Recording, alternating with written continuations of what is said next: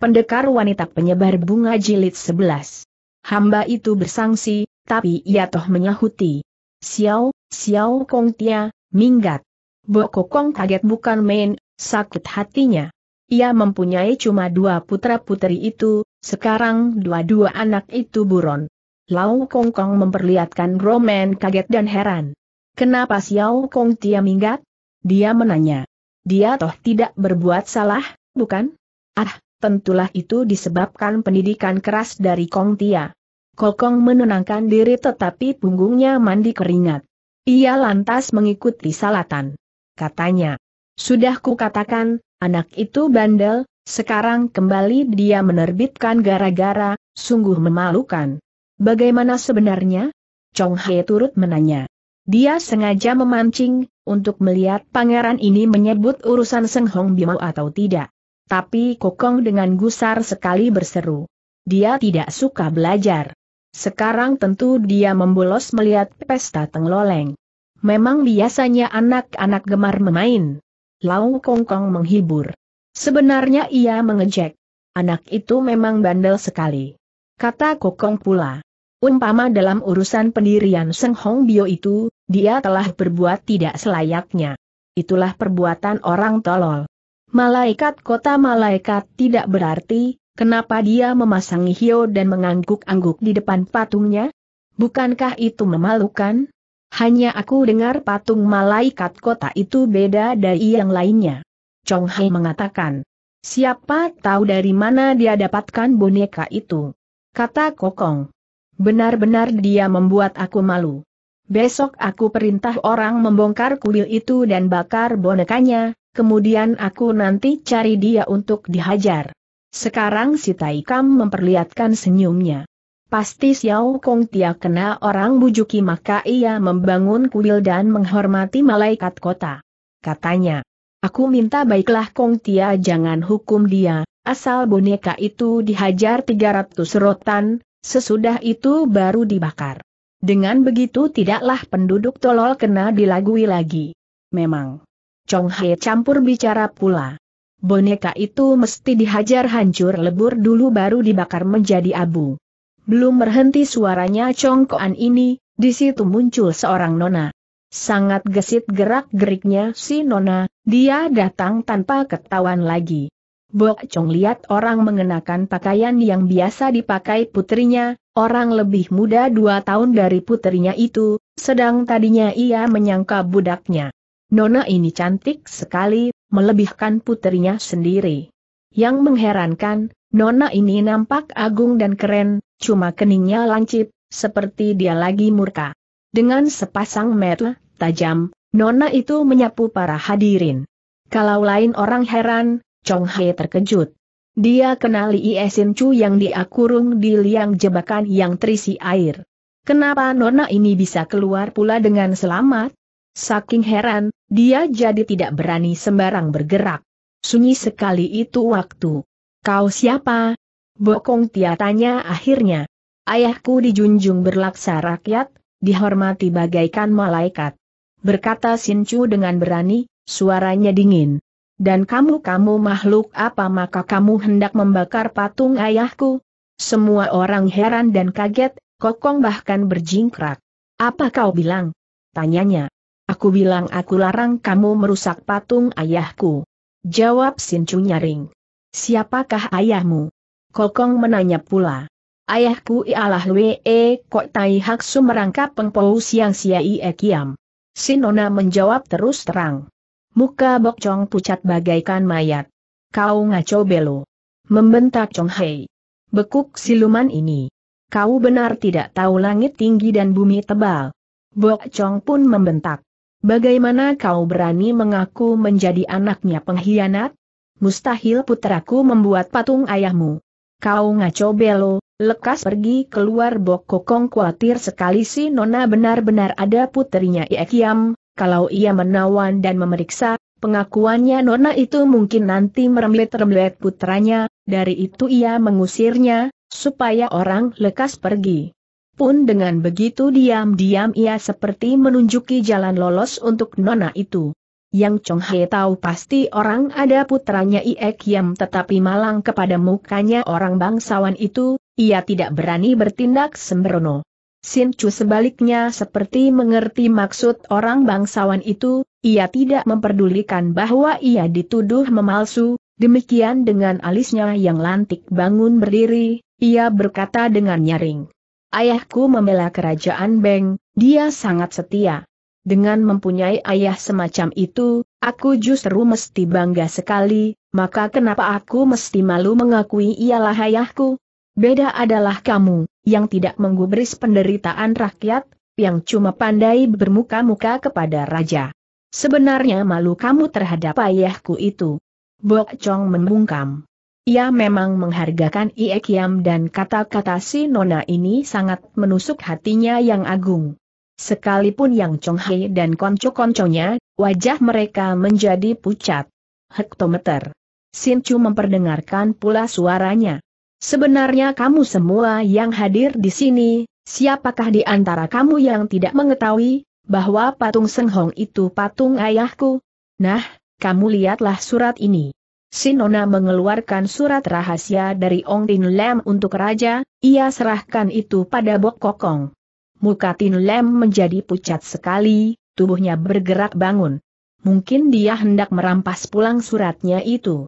Berbareng dengan gerakannya itu, satu bayangan berkelebat kepadanya, lalu tubuhnya roboh terguling. Sebab Sincu sudah rabuh kakinya, setelah mana, dengan pedang terhunus, Si Nona berdiri di samping Bok Kokong, sembari bersenyum mewah, dia menanya.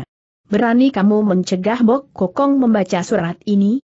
Hang Giam Jin dan Yang Chong Hei dapat melayani Nona berkelahi tetapi kata-kata orang sudah mempengaruhi mereka hingga mereka mesti berdiam saja. Maka di saat itu, suasana menjadi sangat tegang. Rata-rata orang melirik atau mengawasi Bok Kokong. Cepat sekali orang bangsawan itu membaca surat Tong Tin Lem, ia kaget tercampur murka. Baru sekarang ia mengetahui sikap raja terhadapnya, bahwa Ong Hu Chiang inilah match-match raja untuk mengawasi tindak tanduknya. Ia murka karena Tin Lem secara diam-diam hendak mencelakakan padanya. Tapi ia adalah seorang yang banyak pengalamannya, lekas sekali ia dapat menenangkan diri, hingga ia tidak kentarakan rasa hatinya itu. Dengan tawar ia kata pada Tin Lam. Ong Hu Chiang Kun, coba kau lihat surat ini.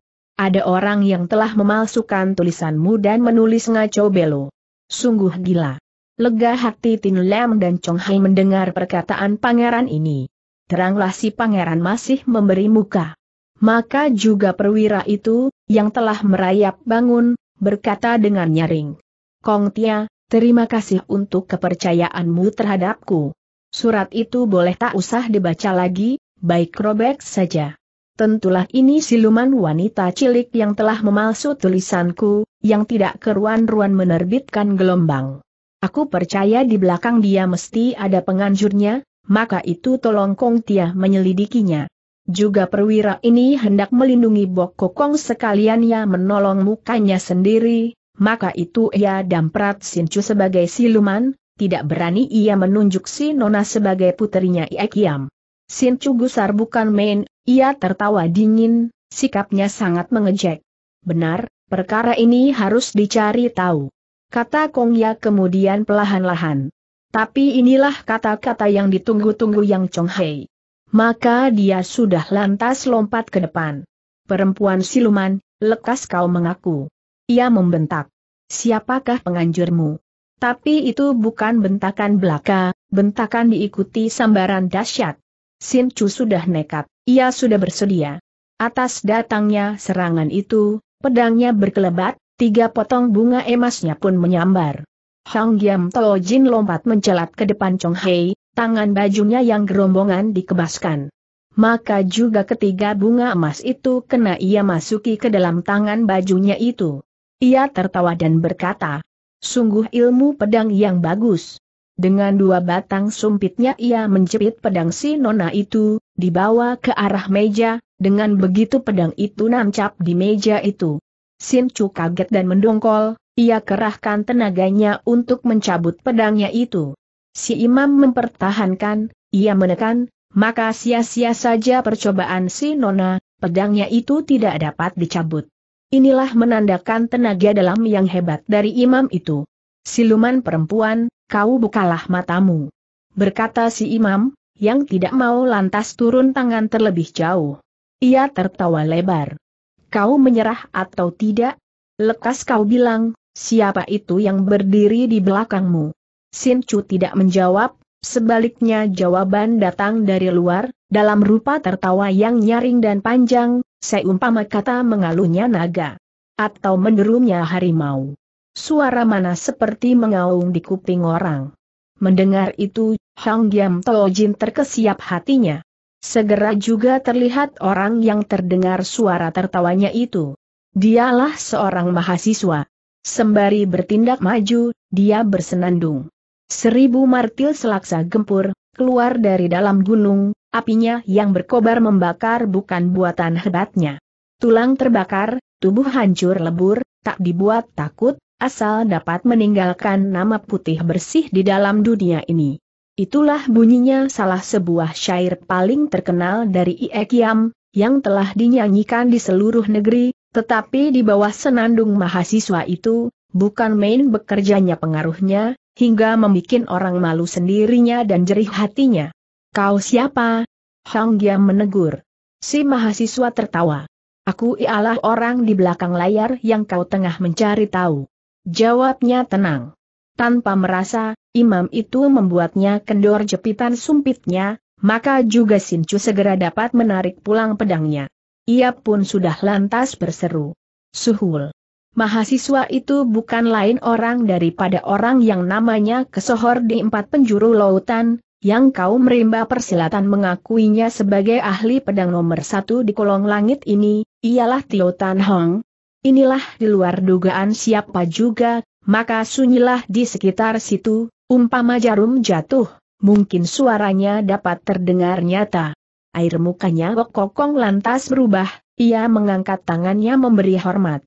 Tio Sins datang, ada apakah pengajaranmu? Dia bertanya. Aku datang karena mendengar kabar kau hendak menegur Kong Chu. Sahut Tan Hang yang dipanggil Sins itu guru, sedang dengan Kong Chu ia maksudkan puteranya si orang bangsawan.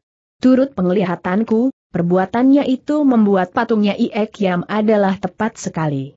Laginya, akulah yang menyuruh Kong Chu membuatnya, dari itu sekarang sengaja aku datang untuk memohonkan ampun, jikalau Kong Tia hendak menegurnya, baiklah Kong Tia tegur aku. Sin Se bergurau. Kata Bok Kokong tertawa. Lalu lekas-lekas ia kata pada si Tai Kam Silau.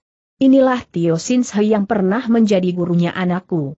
Benar tak lebih dari satu bulan Tio Sinse mengajar tetapi kepandaiannya aku sangat mengaguminya. Tio Sinse ini paling gemar bergurau, dari itu haraplah Lau Kong Kong Sudi memaklumkannya.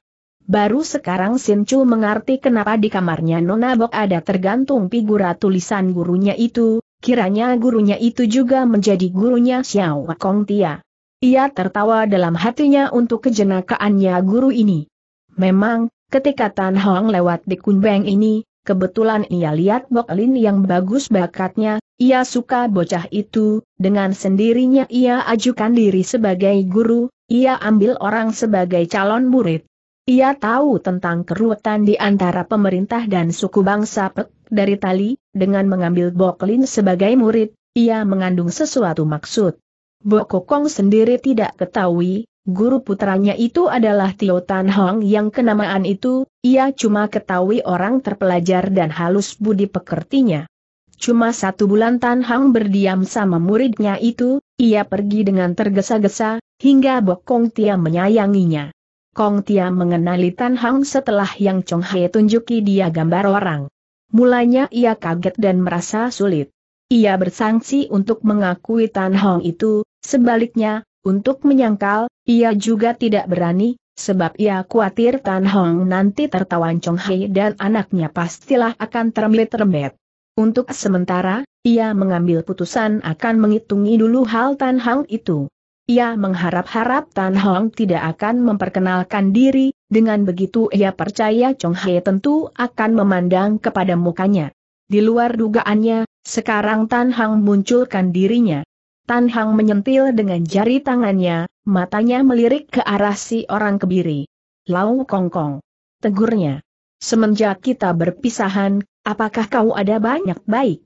Kota Kunbeng bagaikan musim semi seluruh tahun, di sini meminum arak sambil memandangi seng bunga, sungguh menarik hati, beda seperti langit dengan bumi dengan negara Owe yang banyak saljunya. Orang kebiri Shilau ini memanglah si Taikam yang tempo hari Kaisar Kietin ditahan di Tobokpo adat bersama kaisarnya itu, maka bersama-sama rajanya pernah ia merasai penderitaan di negara asing. Itu juga sebabnya kenapa dia sekarang dapat kepercayaannya Kietin. Tentu sekali ia kenal baik si mahasiswa. Sebenarnya apakah maksudmu, Tio Sinsha? Dia bertanya. Seri Baginda pelupaan, aku tidak sangka Kongkong pelupaan juga. Berkata Tan Hong, Lau Kongkong, kalau nanti kau pulang ke kota raja, Tolong kau tanya Sri Baginda, ia masih ingat atau tidak pemilanganku terhadapnya tempo kita masih berada di negara Watsu. Aku maksudkan itu jubah kulit treasury. Mungkin Sri Baginda sudah membuang jubah itu. Selama Kietin dalam penjara, Tan Hang pernah menjenguknya dan ia dihadiahkan baju kulit itu untuk melawan hawa dingin. Ketika baju dipersembahkan, Lau Tai Kam melihatnya sendiri, dia menjadi saksi utama. Sekarang, mendengar perkataannya Tan Hong, dia bungkam. Ah, Tio Sin sudah mabuk. Berkata Bokong Tia, yang masih hendak bersandiwara. Tan Hang mengangkat satu cawan besar, ia menenggak isinya, terus ia tertawa. Di dalam lisaonya, Hut Goan menyesali diri, siapa tahu, dunia melupai segala apa, cuma sendirilah yang tetap sadar. Katanya melenggak.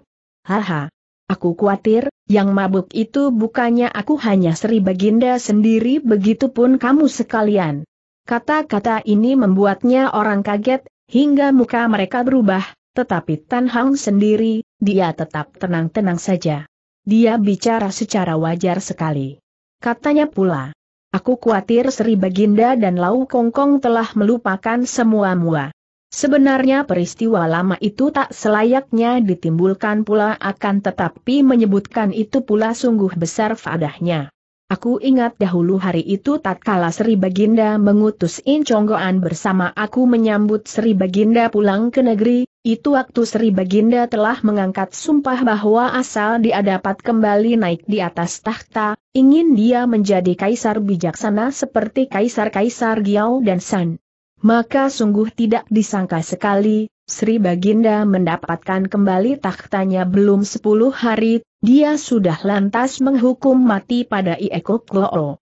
Orang yang dengan sendirinya menggempur tembok besar, siapa berani tanggung dia tidak akan mengalami penderitaan yang kedua kali di Tobokpo. Tidakkah dengan begitu dia membuatnya dingin hatinya menteri-menteri setia serta orang-orang gagah perkasa? Haha, Bokokong, bukannya aku bergurau. Xiao Kong Tia telah membangun kuil menghormati Iekok Foo, tentang itu bukanlah aku yang merencanakan, itu disebabkan dia telah mendengar ceritaku tentang riwayat Iekok Foo itu, dia menjadi sangat ketarik hatinya, dia membuatnya itu. Cobalah kamu menanya dirimu sendiri, orang setia dan besar nyali sebagai Iekok Foo itu, menteri besar yang membangun negara, setelah dia menutup mata, tak tepatkah dia menjadi malaikat? Maka jikalau kamu berani membongkar kuilnya dan merusak patungnya, yang hendak dibakar, aku khawatir sekali, langit dan bumi nanti tak dapat menempatkanmu dan manusia dan malaikat-malaikat bakal bergusar karenanya. Hatinya Bokong Tia berdebaran, kaki tangannya bergemetaran. Hebat kata-kata itu, yang membuatnya cemas hatinya. Di sebelah itu, Semangatnya pun terbangun sendirinya.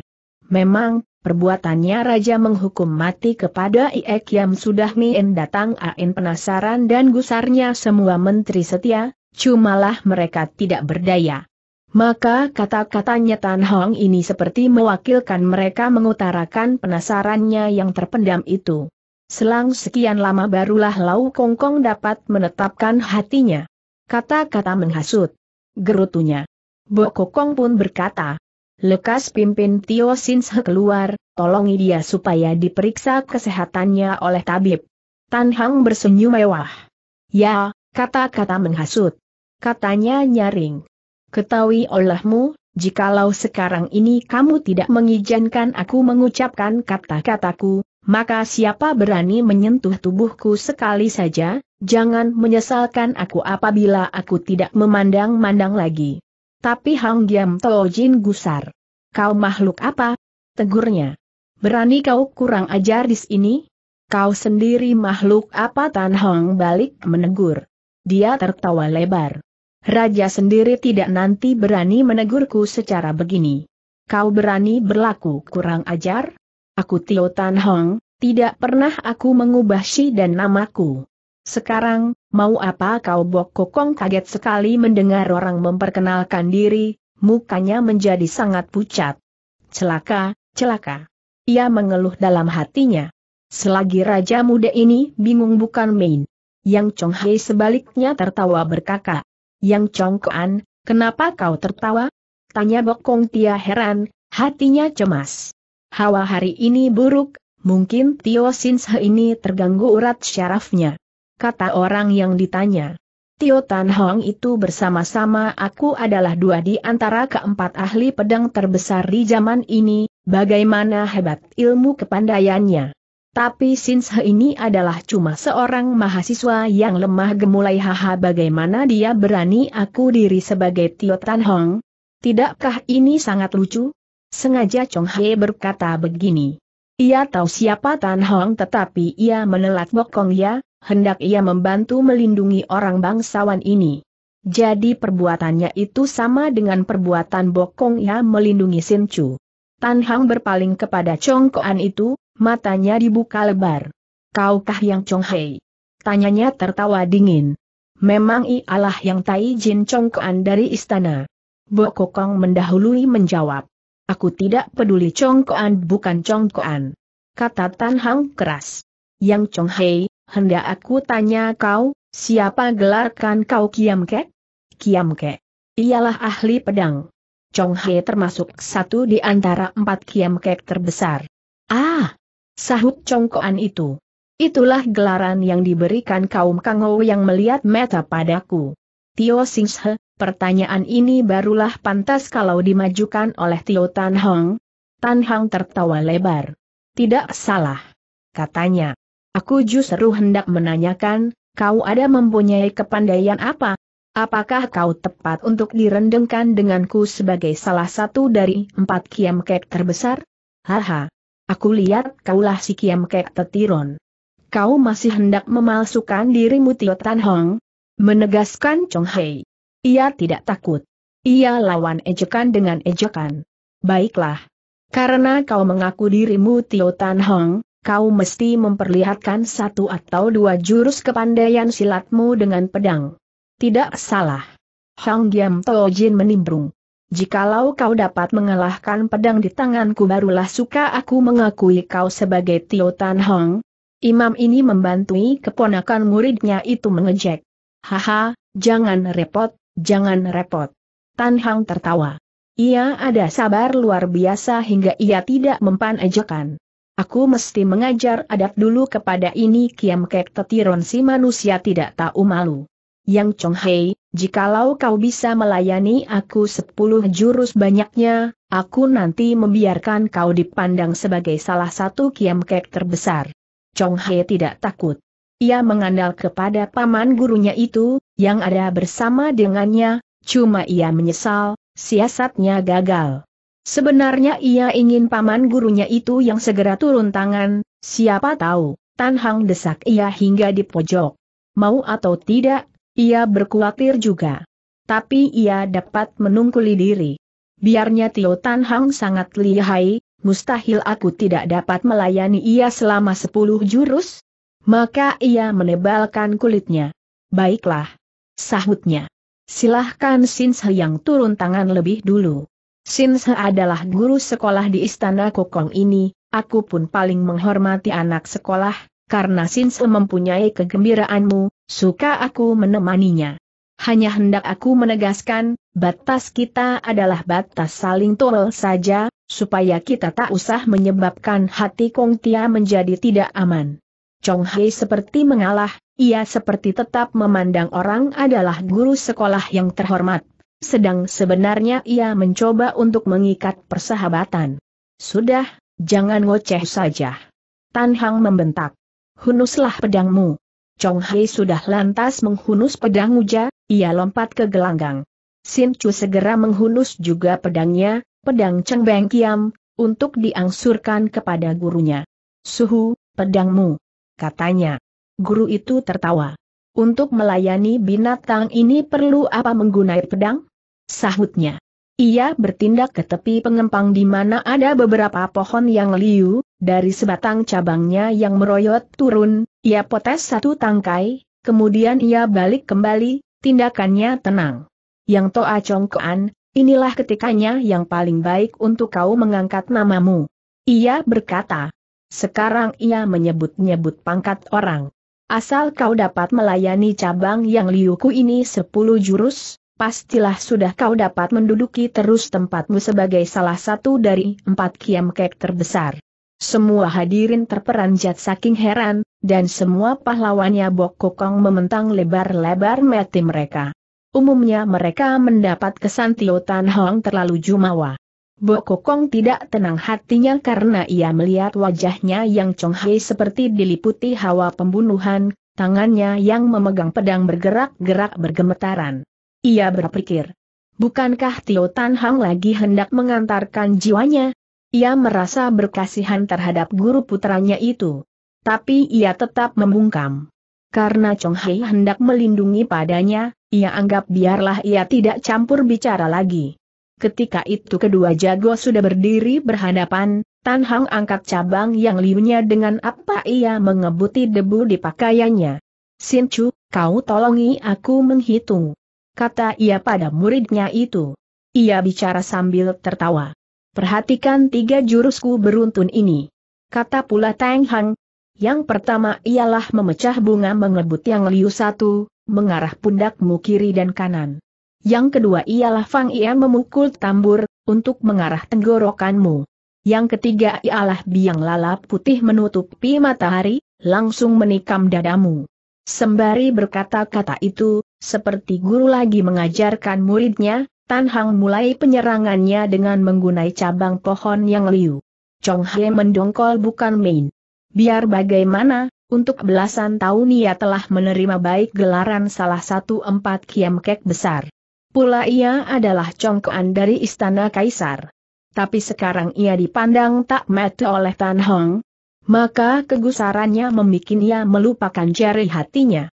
Walaupun Tan Hong mencekal Cheng Beng Kiam, ia masih tidak takut, hendak ia mengadu jiwa, apa pula sekarang orang memegang hanya sebatang yang liu.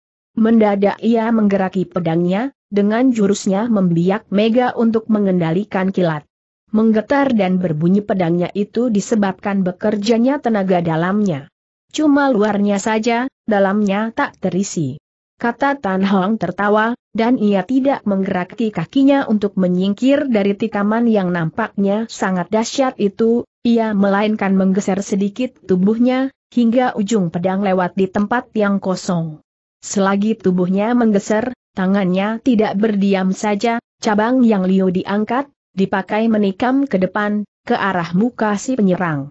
Aneh cabang yang lemas itu, karena dikerahkan, lantas menjadi lempang dan kaku dan juga mengasih dengar suara keras. Yang Chong Hei kaget tidak kepalang, mau atau tidak, ia berkelit mundur. Untuk pertama kali ia merasakan lihainya lawan ini. Jurus yang pertama. Sin Chu berteriak, nyaring tapi halus. Dia pun mengasih dengar tertawa yang empuk. Chong Hei mundur sambil menangkis, habis itu ia memperbaiki dirinya. Segera ia didesak, datanglah jurus yang kedua. Ia menjadi repot sekali, lagi-lagi ia berkelit. Belum sempat ia membalas, datang pula jurus yang ketiga. Dan Sin Chu saban-saban membacakan itu dengan keras. Biar bagaimana, congkoan ini ada satu jago. Di jurus ketiga itu, habis membela diri. Ia mencoba membalas menyerang. ia tetap ada muridnya satu guru yang lihai, tidak terlalu gampang untuk merobohkan dia. Menghindarkan diri dari penyerangan pembalasan itu, Tan Hang tidak berkelit, ia hanya menyingkirkan ujung pedang lawan dengan mengetuk belakang pedang orang hingga Chong Hai merasakan telapak tangannya tergetar dan sakit, pedangnya pun terpental, syukur tidak sampai terlepas dari cekalannya. Kali ini boleh juga, kata Tan Hang sambil tertawa melainkan penjagaannya, walaupun rapat tetapi masih ada lowongannya, maka ini tak dapat disebut jurus yang lihai.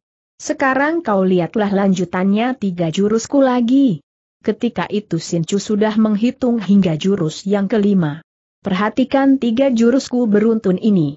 Berkata pula Tan Hong, yang pertama ialah memecah bunga mengebut yang liu, mengarah pundakmu kiri dan kanan. Yang kedua ialah Fang Ian memukul tambur, unuk mengarah tenggorokanmu. Yang ketiga ialah biang lala putih menutupi matahari, langsung menikam dadamu. Sembari berkata-kata itu, seperti guru lagi mengajarkan muridnya, Tan Hang mulai dengan penyerangannya. Chong Hai boleh merasa beruntung yang ia telah diberi petunjuk dulu. Serangan yang pertama dapat ia halau, begitupun yang kedua. Ia menggunakan tipu silat secara main-main membagi emas dan tapalan pintu besi. Untuk ini ia menggunakan kecepatan dan tenaganya yang besar. Untuk yang ketiga, karena tidak dapat memikirkan jalan lain, ia menggunakan tipu silat kilat dan guntur saling menyambar. Inilah serangannya yang terhebat, dengan maksudnya membabat putus senjata cabang yang liu di tangan lawan itu. Untuk ini ia bersedia bersama-sama rugi andai kata lawan dapat menggunakan siasat lain. Sin Chu pun dengan beruntun menyebutkannya. Keenam. Ketujuh. Kedelapan. Ah, sayang, sayang. Coba suhu tidak menyebutkannya lebih dulu, pasti dia tidak dapat menyambutinya. Sekarang tinggal dua jurus lagi, maka kalau Yang Chong He berlaku nekat, tidak nanti dia dapat dirobohkan dalam sepuluh jurus. Selagi nona ini melamun, mendadak ia berhenti dengan kaget. Tiba-tiba saja ia mendengar suara sangat keras, dari terdobraknya jendela, di mana terlihat melayangnya satu tubuh manusia, kaca jendela pecah hancur, air rempang berbunyi berdeburan, airnya muncrat ke segala penjuru. Sebab tubuh congkoan dari istana yang besar itu telah tercebur, mandi di pengempang itu dengan menggunakan pukulannya kilat dan guntur saling menyambar. Yang Chong Hei sudah mengerahkan tenaganya sepenuhnya. Di luar dugaannya, ia menyabet tempat kosong. Kabang yang liu lawan seperti lenyap tidak keruan paran. Atau tahu-tahu tubuhnya terlibat cabang itu, lalu terangkat, kemudian di luar segala kesadarannya, tubuhnya itu terlempar, mendobrak jendela, terus nyemplung di air. Tan Hang lantas tertawa dapat melepas dapat menarik, itu namanya mendekati tahu. Ia berkata, begitu juga ilmu silat. Eh, Sincu, jurus ini jurus yang keberapa? Jurus yang kesembilan. Sahut Sincu setelah ia mengeluarkan napas lega. Sungguh-sungguh ia tidak menyangka. Tan Hang menghampirkan jendela, untuk berkata, Yang Chong Hei, kau dengar.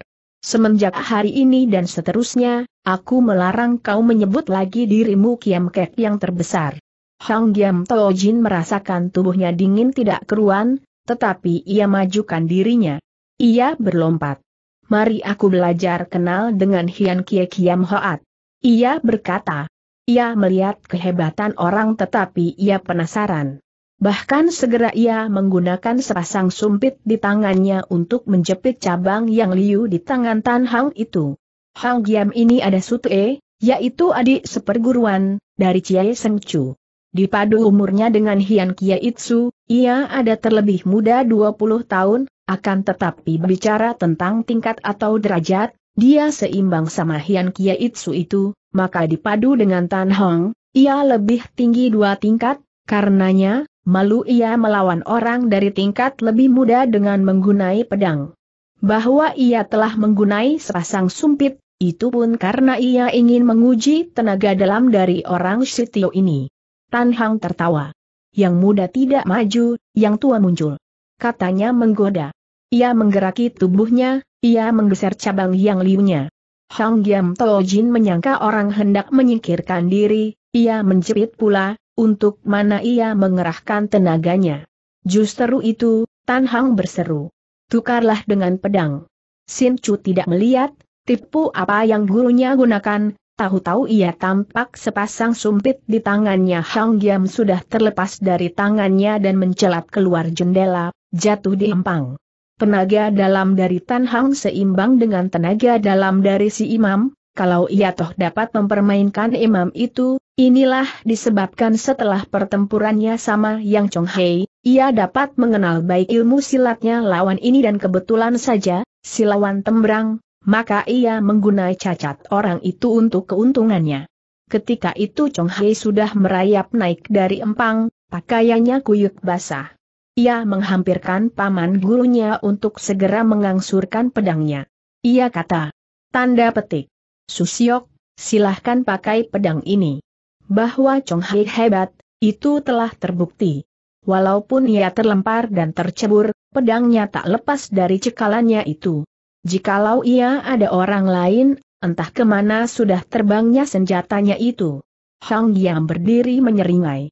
Ia telah menganggap derajatnya sudah tinggi sekali, sudah semenjak beberapa tahun ini ia tidak pernah menggunai pedang, maka adalah di luar dugaannya, sepasang sumpitnya kena diterbangkan orang malah orang yang tingkat derajatnya jauh terlebih rendah itu. Silahkan menggunai pedang, Susyok. Chong He berkata pula. Walaupun ia mengasih dengar ejekan hektometer. Imam ini toh menyambuti pedang keponakan muridnya itu. Ketika ia mengawasi kepada Tan Hong, ia dapatkan orang tengah menggunai cabang yang liunya mengebuti pakaiannya, sikapnya tenang sekali. Ia menjadi mendongkol, ia merasakan kulit mukanya panas. Tan Hong, kau menukarlah dengan pedang. Katanya. Inilah yang pertama kali si Ima menyebut nama Tan Hong, maka itu, berubah wajah Bok Kokong yang mendengar panggilan orang itu. Bagus. Tan Hong tertawa. Sekarang kau tidak lagi mengatakannya aku telah memalsu nama orang. Sin Chu, kau tolongi aku memotes lagi setangkai cabang yang liu. Si murid lincah sekali, cepat ia mengerjakan titah gurunya itu. Dengan menyekal sepasang cabang yang liu, Tan Hang bersenyum. Hang Giam Jin. Ia berkata, tenang. Kau adalah sutenya Cie Seng Chu, jikalau aku menggunakan cuma sebatang yang liu, itulah kurang hormat dari pihakku, maka sekarang aku memakai sepasang batang untuk melayani pedangmu yang panjang. Dengan begini kita menjadi tidak kipa. Dengan kata-katanya itu, Tan Hang cuma main resmi-resmian. Kabang yang liu mana dapat dibanding dengan pedang? Sengaja ia mau angkat dirinya tetapi pun berbareng mengangkat juga si imam. Hang yang berdiam, cuma hatinya tegang sekali. Ia mesti dapat menguasai dirinya.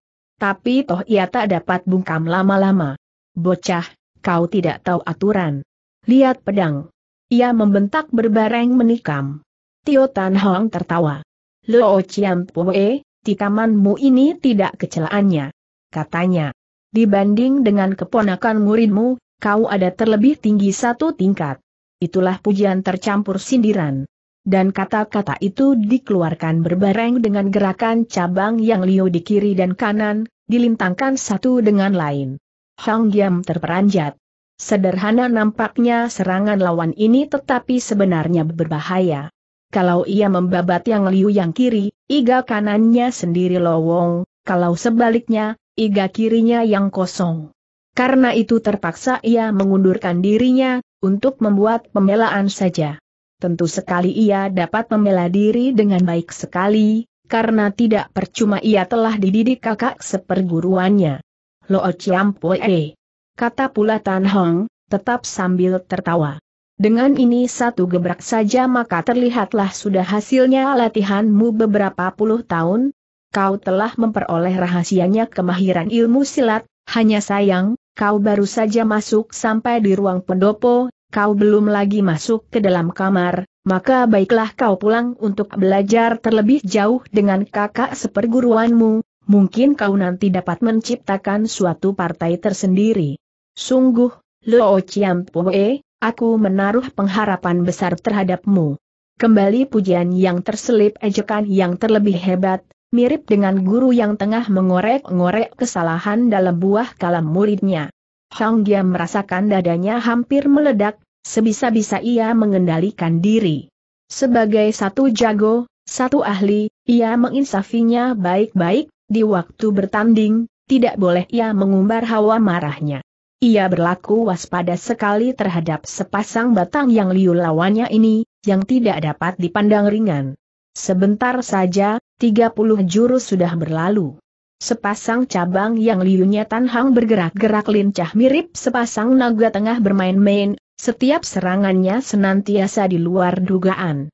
Hang Gia menggunai sebatang pedang yang panjang, ia masih kewalahan, ia cuma dapat menangkis, tidak bisa ia membalas menyerang, dari itu dengan sendirinya pengaruh lingkaran pedangnya itu makin lama menjadi makin ringkas, hingga dengan sendirinya si imam bagaikan kehilangan pengaruhnya. Menyaksikan kepandaian gurunya itu, Sin Chu sadar. Ia barulah insaf kefaedahan dari Siang Kiam Hapek, gabungan sepasang pedang dari Hian Kie Kiam Hoat. Ilmu itu nyata dapat digunakan tidak cuma oleh satu pasangan, wanita dan pria, juga dapat oleh satu orang sendiri yang mengandal kepada kedua tangannya. Pula ini membuktikan lihainya Tan Hong. Mungkin Hian Kia Itsu sendiri tidak sanggup menciptakan ilmu permainan sendiri itu. Ketika dulu hari Hian Kia Itsu menurunkan ilmu silat pedangnya itu, ia cuma mewariskan kepada dua muridnya tersayang, Cia Tian Hoa dan Yap Engeng, yang masing-masing diajarkan sebagian, separuh saja, Kemudian Tian Hoa mewariskan pada Tan Hang dan Eng Eng kepada In Lui, juga seorang separuh, supaya mereka dapat menggabungkan itu, murid dan cucu murid itu berempat telah terbukti, tidak ada tandingannya. Sekarang, Tan Hang mainkan itu sendiri saja. Inilah hasil kecerdasan dan keulatannya sesudah ia menikah sama In Lui, karena seorang diri terus ia melatih diri dan memahamkan maka tidak sia-sialah capek lelahnya itu. Ini pula sebab kenapa Tan Hong berani melayani Hang Diam yang bersenjatakan pedang dengan dua batang yang liu. Lagi kira 30 jurus, Hang Diam tetap cuma mampu membela diri. Hanya sekarang, napasnya mulai memburu keras, sampai itu dapat didengar oleh para hadirin. Yang Chong Hei senantiasa memasang mata, ia dapat mengerti suasana yang buruk itu untuk pihaknya. Kalau ia tidak segera bertindak, mungkin paman gurunya itu menghadapi bahaya. Maka lantas ia bekerja. Paling dulu ia merampas sebatang pedang dari tangannya satu pahlawan, setelah itu, ia berseru. Si pengkhianat telah terbukti kesalahannya, maka hayolah bekuk dia, jangan membuang-buang tempo lagi. Menimpali seruan itu, dari luar ruang muncul belasan orang dengan senjata mereka lengkap, Pakaian mereka tak rata, ada yang sebagai pahlawan, ada yang seperti imam. Sebab mereka ada murid-muridnya Chie Seng Pei yang dipimpin Hang Giam Jin. Sengaja mereka ditempatkan di luar ruang, oleh karena mereka dianggap tidak berderajat untuk duduk bersama Bok Kokong. Mereka cuma dipesan untuk selalu siap sedia, buat maju begitu lekas ada pertanda. Di luar, mereka ditemani oleh sejumlah pahlawannya tuan rumah, Semunculnya mereka, lantas mereka memernahkan diri, hingga ruang jadi terkurung rapat. Bokokong tidak puas tetapi ia tidak bisa berbuat suatu apa, terpaksa ia berdiam saja, menonton sambil ia dilindungi beberapa pahlawannya. Yang Chong He pun memberi tanda kepada orang-orangnya itu, untuk bersiap sedia. Kemudian Hang Giam Jin berlompat maju, untuk mengambil kedudukannya di tengah-tengah. Tan Hang bersenyum, kembali ia menggunai cabang yang liunya untuk mengebuti bajunya. Kemudian dengan sabar barulah ia berkata, Sudah lama aku mendengar kabar perihal barisan pedang dari Chie Seng Pei, bahwa barisan itu lihai sekali, baru sekarang aku dapat menyaksikannya, sungguh aku merasa sangat berbahagia. Yang Chong He berdiam saja walaupun ia diejek. Ia hanya menantikan tanda dari paman gurunya untuk turun tangan mengepung musuhnya itu. Tan Hang pun tidak memperdulikannya lebih jauh, ia hanya menoleh kepada muridnya. Ia tertawa ketika ia berkata, pertempuran kali ini sedikitnya akan memakan waktu setengah jam, karena tidak ada perlunya untuk kau berdiam di sini, pergi kau berangkat lebih dulu. Jikalau kau bertemu sama Hekpek Moko, sampaikanlah pengharapanku agar mereka tak kurang suatu apa. Kau tidak usah menantikan aku, jangan kau mencari, hanya kau boleh berangkat lebih dulu ke tali. Paling lambat selang satu dua hari aku akan dapat susul kamu. Tenang bicaranya Tan Hong, meskipun barisan musuh berbahaya, ia seperti tak memperdulikannya. Sin Chu menjadi serba salah. Sebenarnya tidak puas ia meninggalkan gurunya, sedikitnya ingin ia menyaksikan pertempuran guru itu. Tapi ia cerdas, mesti ada perlunya kenapa gurunya menitah ia pergi. Di sana pun ada Hekpek, Moko, dan ia perlu mencari mereka itu untuk diajak pulang bersama. Maka ia terpaksa menurut. Katanya, Baiklah, suhu, muridmu akan berangkat lebih dulu. Ia menghunus pedangnya, untuk berlalu. Orang semua siap sedia, ia pun ingin bersiap. Tapi Tan Hong tertawa. Kau simpan pedangmu, anak. Katanya. Jangan kau membuatnya mereka kaget hingga nanti mengganggu barisan pedang mereka ini. Dengan barisan pedang itu dimaksudkan. Kiam Tin. Sin Chu heran hingga ia melengak. Bukankah hebat pengurungan musuh itu? Mungkinkah, kapan ia mengundurkan diri, mereka itu tidak akan menghalang-halangi? Dengan bertangan kosong, mana dapat ia melawan belasan musuh itu? Tapi ia percaya gurunya, maka ia masuki pedangnya ke dalam sarungnya, dengan berani tetapi tenang, ia bertindak keluar, matanya diam-diam dipasang. Benar kesudahannya, tidak ada satu jua murid Cie Sengpe yang berani merintangi, mereka berdiri dan pada kedudukannya masing-masing, maka ia dapat keluar tanpa halangan. Umpama kata orang menggaploknya mereka itu, tentu mereka berdiam terus kecuali ada tanda dari Hang Giam atau Chong Hei. Tan Hang ketahui lihainya musuh, ia tidak takut, tetapi ia tahu, ia mesti menaruh perhatian, maka itu, supaya ia tidak usah repot memikirkan Sincu, ia suruh muridnya itu mengangkat kaki terlebih dulu. Ia sudah menduga tidak nanti muridnya itu dihalang-halangi musuh. Baru saja Sincu tiba di gili-gili empang, ia sudah lantas dengar riuhnya suara bentrokan senjata. Itulah tanda yang gurunya sudah turun tangan. Ia merandak, ia menoleh, ingin ia menyaksikan, tetapi di akhirnya, ia mendengar kata, ia berjalan terus. Dengan siurannya angin, ia merasa hatinya terbuka. Selama dua hari ia menderita, tetapi bertemu gurunya, ia girang bukan main. Ia percaya, itulah gurunya yang sudah menolongi padanya. Sebenarnya ia ingin minta keterangan pada gurunya itu tetapi ia sudah memasuki kota dan berada dekat hotelnya. Entah bagaimana Xiao Houichu memikirkan aku. Pikirnya. Setahu bagaimana dengan Hekpek Moko, mereka sudah tiba atau belum. Ia berjalan terus. Di tembok luar, ia dapatkan pertandaannya masih ada. Ketika ia masuk ke dalam, ia bertindak cepat.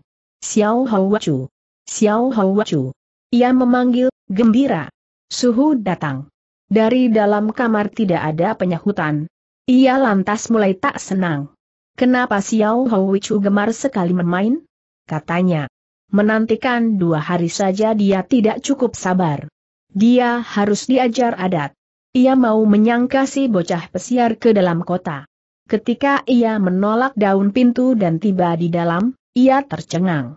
Ia mendapatkan seperti kusut, tanda seperti Xiao Houwicu turun dari pembaringan secara kelabakan.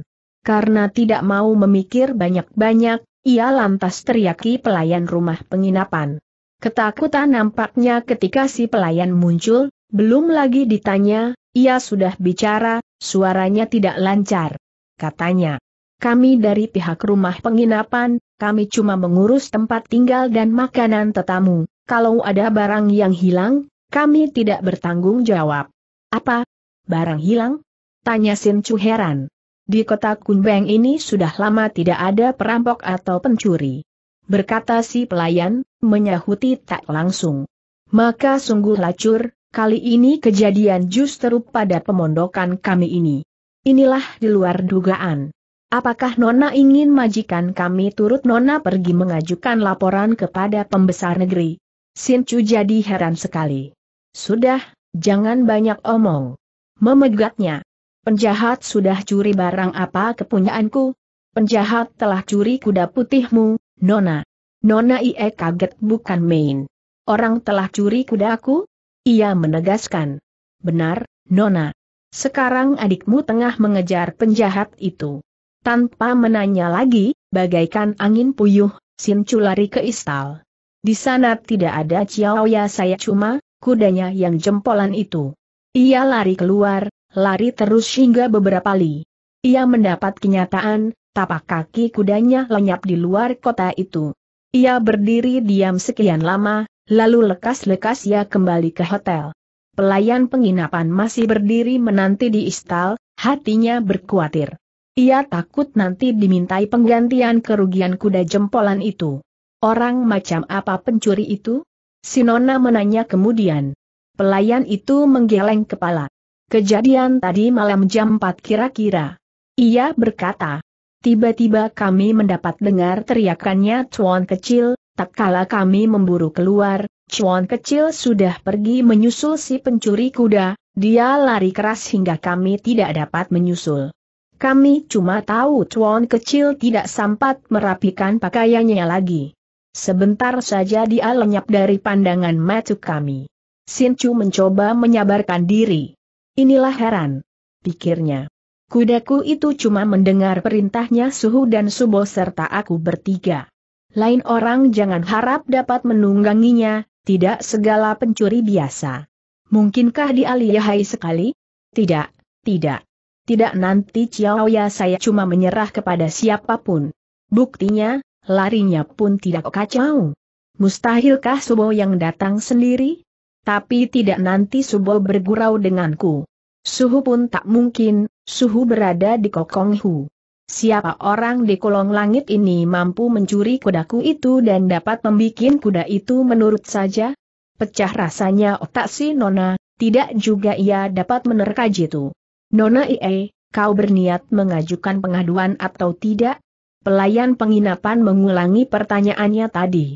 Apa yang hendak diadukan? Sahut si Nona, mendongkol.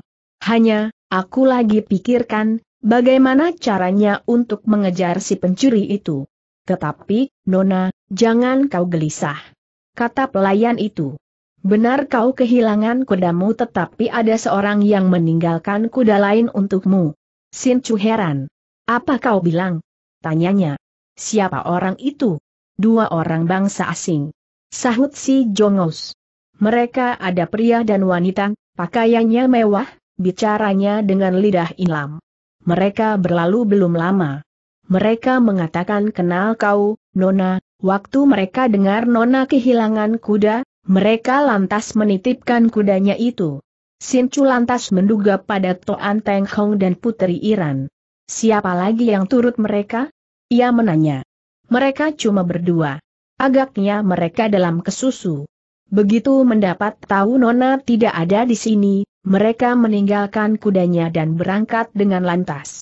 Mereka dirintangi orang-orangnya Kokong Hau, pantas mereka tidak mau berdiam lama-lama di kota Kunbeng ini. Sin Chu kata dalam hatinya kuda yang mereka tinggalkan ada kuda dari Arabia, inilah lumayan. Maka ia lantas suruh si pelayan tuntun kuda itu, kemudian ia lantas lompat menaikinya. Ke mana kaburnya si penjahat? Ia tanya. Melihat mengejarnya tuan muda, ke selatan. Sahut pelayan itu. Tanpa membilang apa-apa lagi, Sincu kaburkan kudanya ke arah yang disebutkan itu. Tentu saja ia membuatnya si pelayan ini heran dan gegetun. Pelayan ini berlega hati bukan main, sedang tadinya ia ketakutan, kepalanya pun pusing, takut nanti disuruh mengganti harganya kuda jempolan itu. Sincu mengaburkan kudanya walaupun ia tahu tidak nanti ia dapat menyandak Ciao ya saya cuma ia mengharap-harap nanti menemukannya di tengah jalan.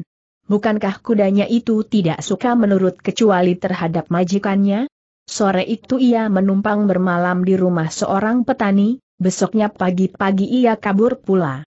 Di tengah jalan ia menemui beberapa orang, yang gerak-geriknya mencurigai, tetapi mereka tidak ada bersama Ciao Ya saya cuma, ia membiarkannya saja.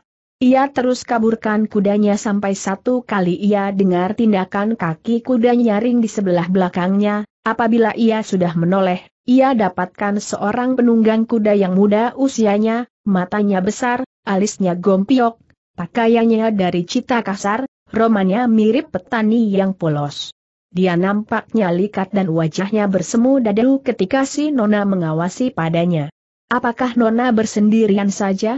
Ia menanya. Kenapa? Sincu balik bertanya. Ia tidak menyahuti. Aku juga bersendirian. Kata pemuda itu. Perjalanan dari sini ke Inlam Selatan ada tidak aman, aku pikir baiklah kita jalan bersama, jadi kalau perlu dapat kita saling melindungi. Bagaimana pikiranmu? Sin Chu tidak puas, coba orang tidak bersikap polos, pasti ia sudah mencambuk. Biasanya tak senang aku berjalan bersama-sama lain orang. Sahutnya tawar. Terima kasih. Dan ia jepterkan cambuknya, membuat kudanya berlompat lari, hingga sesaat kemudian anak muda itu tak nampak lagi. Sungguh aneh. Nona kita pikir, ia tertawa di dalam hati. Pemuda itu seperti tidak membawa barang berharga, biarnya tempat tidak aman, dia takuti apa? Mungkinkah romannya saja polos tetapi sebenarnya dia orang jahat? Fui. Biar dia jahat, kalau dia tidak ganggu, apa aku peduli? Sin Chu kabur terus. Sampai maghrib ia masih belum melihat kudanya. Hatinya mulai dingin. Ia merasa bahwa Carol mencarinya ini tidak tepat. Sekarang baik aku menuju langsung ke tali akan menantikan suhu di sana. Pikirnya kemudian. Ia angkat kepalanya, memandang ke depan. Ia melihat banyak puncak bukit. Orang bilang tempat yang indah ialah Kuilim, siapa tahu Inlam pun tidak kalah. Ia ngelamun. Ia pernah baca banyak buku dan mengenal ilmu bumi, mendadak ia ingat, Bukankah pemandangan di depannya itu ada dari Chiolim? Atau rimba batu yang tersohor keindahan dan keanehannya, Tian Kekeng.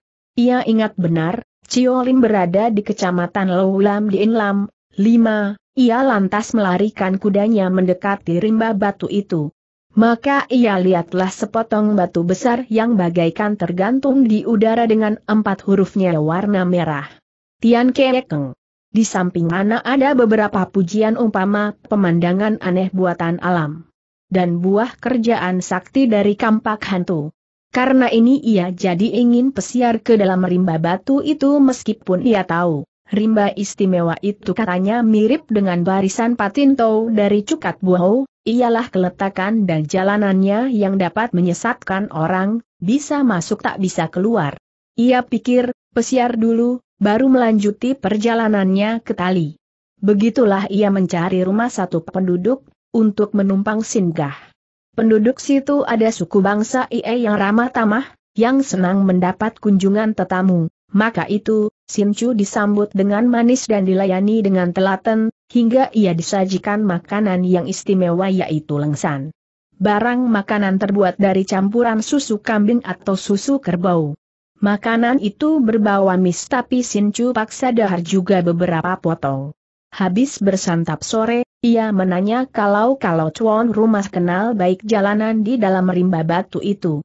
Aku tahu, aku tahu, cuma sekarang jalanan itu tak dapat dilalui. Berkata tuan rumah. Sincu heran, ia menanyakan sebabnya. Sebab sekarang di dalam rimba itu berdiam kawanan penjahat. Menerangkan tuan rumah. Umpama tahun yang lalu, dua orang Tionghoa masuk ke dalam rimba, selanjutnya mereka tidak pernah keluar pula. Karena itu, kami di sini tidak ada yang berani memasukinya. Begitu? Kata si Nona Gusar. Tempat begini luar biasa menarik, mana dapat penjahat dibiarkan mendudukinya? Kawan tari aku ke sana, nanti aku singkirkan manusia-manusia jahat itu. Cuan rumah menggeleng-geleng kepala dan menggoyang-goyangi tangannya. Tidak bisa, Nona. Katanya. Jangan kata Nona seorang diri, sepasukan tentara pun tidak nanti berhasil membasmi mereka. Mereka kenal jalanan. kalau lain orang dia dapat masuk tak dapat kembali. Sin Chu mendongkol, tapi sebab tuan rumah takut, ia tidak mau memaksa. Malam itu bulan muda baru muncul, Sin Chu keluar dari rumah untuk menggadanginya. Cuan rumah hendak menemani, ia menampik. Ia berjalan seorang diri. Ia cuma dipesan jangan pergi jauh-jauh. Di luar kampung itu ada sebuah telaga kecil, di tepi situ pun ada banyak batunya yang muncul tinggi, berbayang di permukaan air. Juga pemandangan ini cukup merawankan hati. Nona ini ingat pembilangan hal adanya Kiam Tai, pangempang pedang, di dalam Ciolim, maka ia anggap, pangempang itu pastilah indah sekali. Karena ini tanpa merasa ia bertindak, berniat memasuki rimba batu itu. Mendadak ia melihat berkelebatnya dua bayangan orang belasan tombak di depannya. Ia heran. Di sana ada tanah datar yang berumput, di sana pun ada beberapa batu muncul itu. Ke sana dua bayangan itu masuk, akan kemudian disusul dua yang lain. Dari heran, ia menjadi mencurigai orang jahat. Maka ia lari ke sana, untuk mengintai. Untuk menyembunyikan diri, ia naik di atas puncak. Ia lihat beberapa orang, di antaranya seorang wanita. Teng Lo Toa, apakah kau merasa pasti? Terdengar seorang. Benarkah si titik itu seorang diri? Si titik. Ada kata-kata rahasia kaum penjahat, dimaksudkan orang yang diarah. Benar-benar mereka penjahat yang hendak mencelakai orang. Pikir Sin Chu. Maka terus ia mengintai, memasang matu dan kupingnya. Aku tidak salah, dia seorang diri, jawab si Teng Lo Toa itu.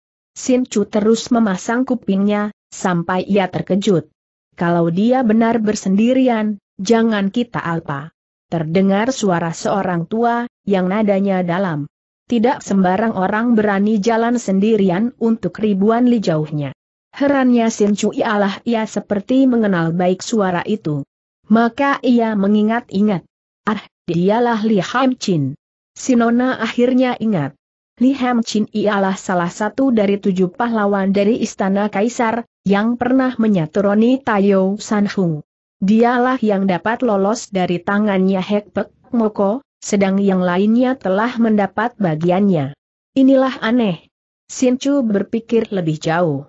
Aku menyangka kepada orang-orang jahat biasa, siapa tahu di sini ada turut campur hamba negeri. Tentu sekali, ia menjadi semakin ketarik hati. Jangan khawatir, Lo Oyacu. Kata si wanita. Kita jangan lawan dia berterang, kita pancing dia masuk ke dalam rimba batu. Dia bersendirian, biarnya dialihai dan mempunyai sayap untuk terbang, tidak nanti dia lolos. Apakah kau merasa pasti? Li Ham Chin menegaskan. Tentu. Dengan satu akal, dia pasti bakal kena terpancing. Sin Chu ingin dengar akal itu, tetapi mereka itu hanya kasakusuk. Benar bagus. Kata Li Ham Chin tertawa. Habis membereskan si titik ini, kita barulah membereskan juga si budak perempuan. Apakah budak perempuan itu pun si titik yang tangguh? Si wanita menanya. Turut katanya yang congkoan, dia telah mewariskan ilmu pedang gurunya dan senjata rahasianya yang berupa bunga emas lihai luar biasa menyahut si orang Shili. Sebenarnya, setiap muridnya Tio Tan Hang pastilah tak dapat dicelah, pasti dialihai. Sin Chu kaget sekali. Jadi ia pun lagi diarah. Hampir ia merabuh dengan bunga emasnya untuk menghajar rombongan itu. Baiknya ia dapat menyabarkan diri. Ia menduga-duga, siapa itu si titik, ingin ia mencari tahu. Untuk ini, ia mesti mengawasi terus gerak-gerik rombongan itu. Budak itu mengambil satu jalan bersama si titik, jikalau kita ketemui mereka berbareng, terhadap siapa kita mesti turun tangan terlebih dulu? Menanya si wanita. Tentu saja si titik lebih dulu. Sahut Li Hem Chin. Mereka tak dapat dikumpul bersama. Sekarang mari kita bersiap sedia. Sin Chu lekas-lekas mengundurkan diri, untuk mengawasi terlebih jauh. Ia memernahkan diri di tempat tersembunyi di tepian empang. Belum terlalu lama, ia melihat gerakan serupa bayangan memasuki Cholim. Siapa titik itu? Sinona menduga-duga. Li Ham Chin Hai dan kawannya banyak, mereka masih tidak berani menempur secara terang-terangan. Mungkin dia terlebih penting daripadaku. Setelah itu, ia berjalan pulang, akan besoknya fajar, belum langit terang, ia sudah pamitan dari tuan rumah, yang ia beri alasan hendak lekas-lekas melanjuti perjalanannya. Tapi sebenarnya ia menyembunyikan diri di luar rimba batu itu. Ketika matahari sudah naik tinggi, beberapa orang kelihatan masuk ke dalam rimba, terus mereka lenyap, tidak terdengar juga suara apa-apa dari mereka. Ia menjadi bersangsi si titik datang hari itu. Hampir nona ini meninggalkan tempat sembunyinya tatkala kupingnya mendengar tindakan kaki kuda, lalu tak lama kemudian, muncullah si penunggang, yang ternyata adalah si anak muda kemarin, yang mengajak ia jalan bersama. Dia pun rupanya tertarik keindahan rimba batu itu, dia turun dari kudanya, sambil menggendong tangan, dia mengangkat kepala, melihat langit dan sekitarnya. Dia nampaknya tolol tetapi dia ketarik sama keindahan alam. Berpikir si Nona. Ia mengagumi juga pemuda itu, yang terang berperasaan halus. Justru itu, tiba-tiba saja terdengar jeritan seorang wanita. Si anak muda kaget, dia berpaling ke arah dari mana jeritan itu datang. Dia tampak seorang pria, yang romannya bengis, membawa lari seorang wanita masuk ke dalam rimba. Wanita itu menjerit-jerit terus dan meronta-ronta kaki dan tangan. Culik! Tolong! Culik! Tolong! Demikian teriakan si wanita berulang-ulang. Pemuda itu kaget, lalu dia menjadi gusar, maka dia lari untuk mengubar. Semua itu terkilas di matanya Sincu. Untuk sesaat ia berdiam, segera ia sadar, si titik itu pastilah ini anak muda. Karena ini ia berteriak-teriak. Jangan kejar! Jangan kejar! Itulah akal belaka. Sia-sia saja teriakan ini, si anak muda sudah mengejar masuk ke dalam rimba batu. Tapi keras keinginannya si Nona untuk menolong, maka ia hunus pedangnya, ia memburu. Segera ia dengar suara bentrokan senjata. Ia lari terus, hingga ia menyaksikan si anak muda lagi dikepung beberapa orang, di antaranya seorang tua, ialah Li Ham Chin si pahlawan kaisar. Pula si culik. Dan wanita yang terculik itu ada bersama, bahkan kebetulan sekali, wanita lagi berkata-kata sambil tertawa. Lihat, Lo Yacu, bagus tidak akalku? Hebat si anak muda. Ia gempur seorang musuhnya, hingga dia terdampar ke sebuah batu sampai kepalanya borboran darah. Pukulan itu membuatnya si Nona heran. Ia kenali itulah jurus dari ilmu silat Kin Kong Chiang Toa Sut Pai Chiu, hajaran tangan arhat. Li Ham Chin mengasih dengar ejekan hektometer. Terus ia rangsak si anak muda. Dia menggunakan ilmu silat Tai Kekun, untuk memecahkan tipu silatnya pemuda itu. Si anak muda benar hebat, walaupun dia gagah, Li Ham Chin tak dapat berbuat banyak. Bahkan habis itu, kembali satu musuh dibikin terdampar roboh. Si wanita lantas berteriak. Lo Yacu, jangan melayani dia mati-matian. Biarkan dia merasakan aku punya cubulian Hoan Owa tiap piau. Itulah piau yang berupa kupu-kupu. Sin Chu gusar hingga ia tak tahan sabar lagi. Ia lompat keluar dari tempatnya sembunyi sambil berseru, ia mengayun tangannya menyebar bunga emasnya, akan meruntuhkan setiap piau kupu-kupu itu. Aneh senjata rahasia wanita, sesudah runtuh, lalu terlihat menyambarnya banyak jarum. Karena ini Sincu segera nyerbu dengan putar tubuhnya berikut pedangnya, buat melindungi diri sambil menangkis. Hati-hati! Si anak muda berseru, memperingati si Nona, lalu ia mengebas dengan sebelah tangannya, atas mana banyak jarum itu tersampok ke samping mengenai batu sedang semua orang, kawan dan lawan, pada menyingkir. Buka! Berseru Li Ham Chin si orang tua. Itulah tanda rahasia, mendengar mana kawan-kawannya yang mengepung si anak muda, lantas kabur berpencaran. Si anak muda, begitu pun Sincu, tidak pedulikan yang lain-lain, mereka mengejar si pahlawan raja, yang pun turut melarikan diri, telasap telusup di antara batu-batu muncul itu. Sembari mengejar Sincu sesalkan si anak muda. kenapa kau tidak dengar perkataanku? Terang-terang ada harimau tapi kau justru lari hampirkan harimau itu? Memangnya kau tidak dengar teriakanku? Si anak muda menyeringai, ia menyahuti. Aku dengar suaramu tetapi aku ingin sekali menolongi wanita itu, yang suaranya menyayatkan hati. Siapa tahu? Rupanya kau tidak pedulikan aku, kau tidak mempercayainya, kau menyangka aku manusia jahat. Merah mukanya si anak muda. Tidak, tidak. Ia menyangkal. Melihat main orang, Sincu mendongkol berbareng lucu. Ia pun lantas mengingat bahwa mereka tidak kenal satu pada lain, bahwa ada wajar saja orang berkasihan terhadap wanita yang diculik itu, malah ini menandakan kemuliaan hati si anak muda. Karena ini, tanpa merasa muncullah kesannya yang baik. Masuk gampang, keluar sukar. Kata ia kemudian. Mari kita lihat.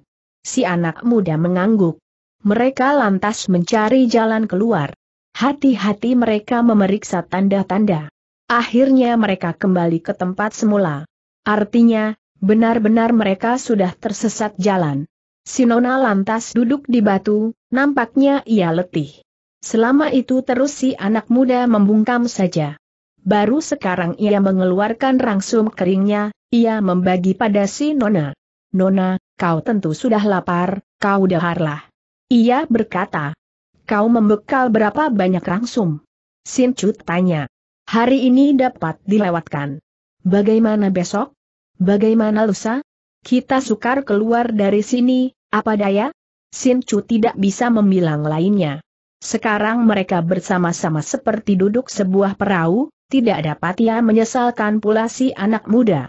Agaknya si anak muda terus tidak tenang hatinya. Mendelong ia mengawasi si Nona. Menyesal, aku telah mencelakai kau, Nona katanya kemudian. Nona tahu ke sini orang dapat masuk tetapi tidak dapat keluar, mengapa kau masuk juga? Habis mana bisa aku mengawasi saja kau bercelaka? Si Nona membaliki. Nona baik sekali. Kata si pemuda. Ia memuji, ia pun mengucap terima kasih. Ia menjura dengan dalam. Melihat begitu, Sincu tertawa. Karena ini, tidak lama kemudian, lenyaplah kemendongkolannya. Sekarang kita berada di sini, marilah kita sekalian melihat keindahannya rimba batu ini. Katanya kemudian. Ia benar-benar melupai bahaya yang tengah mengancam dirinya, dengan menyekal pedang terhunus, ia bertindak jalan. Anak muda itu mengikuti. Sekarang, dengan hati lega, dapat mereka memperhatikan batu-batu yang berdiri lempang itu bagaikan pepohonan. Itulah yang menyebabkan didapatnya nama Ciolim atau rimba batu itu. Ada tempat yang sempit hingga memuat hanya satu tubuh, ada juga yang lebar di mana dapat orang bersilat. Ketika mereka tiba pada suatu tempat di mana dua buah puncak seperti saling menggencat, mendadak ada anak panah menyambar, suaranya nyaring. Dengan pedangnya si Nona menangkis anak panah itu. Habis itu, sunyi sirap. Adalah sesaat kemudian, datang timpukan piau. Gusar Sincu, sambil berkelit, ia berlompat, matanya mengawasi ke tempat dari mana senjata gelap itu datang. Sebat luar biasa, ia mengayun tangannya, lalu di sana terdengar suara jeritan, suatu tanda si pelepas piau itu menjadi sasaran bunga emas. Lalu terdengar suara orang. Budak itu lihai bunga emasnya, jangan layani dia.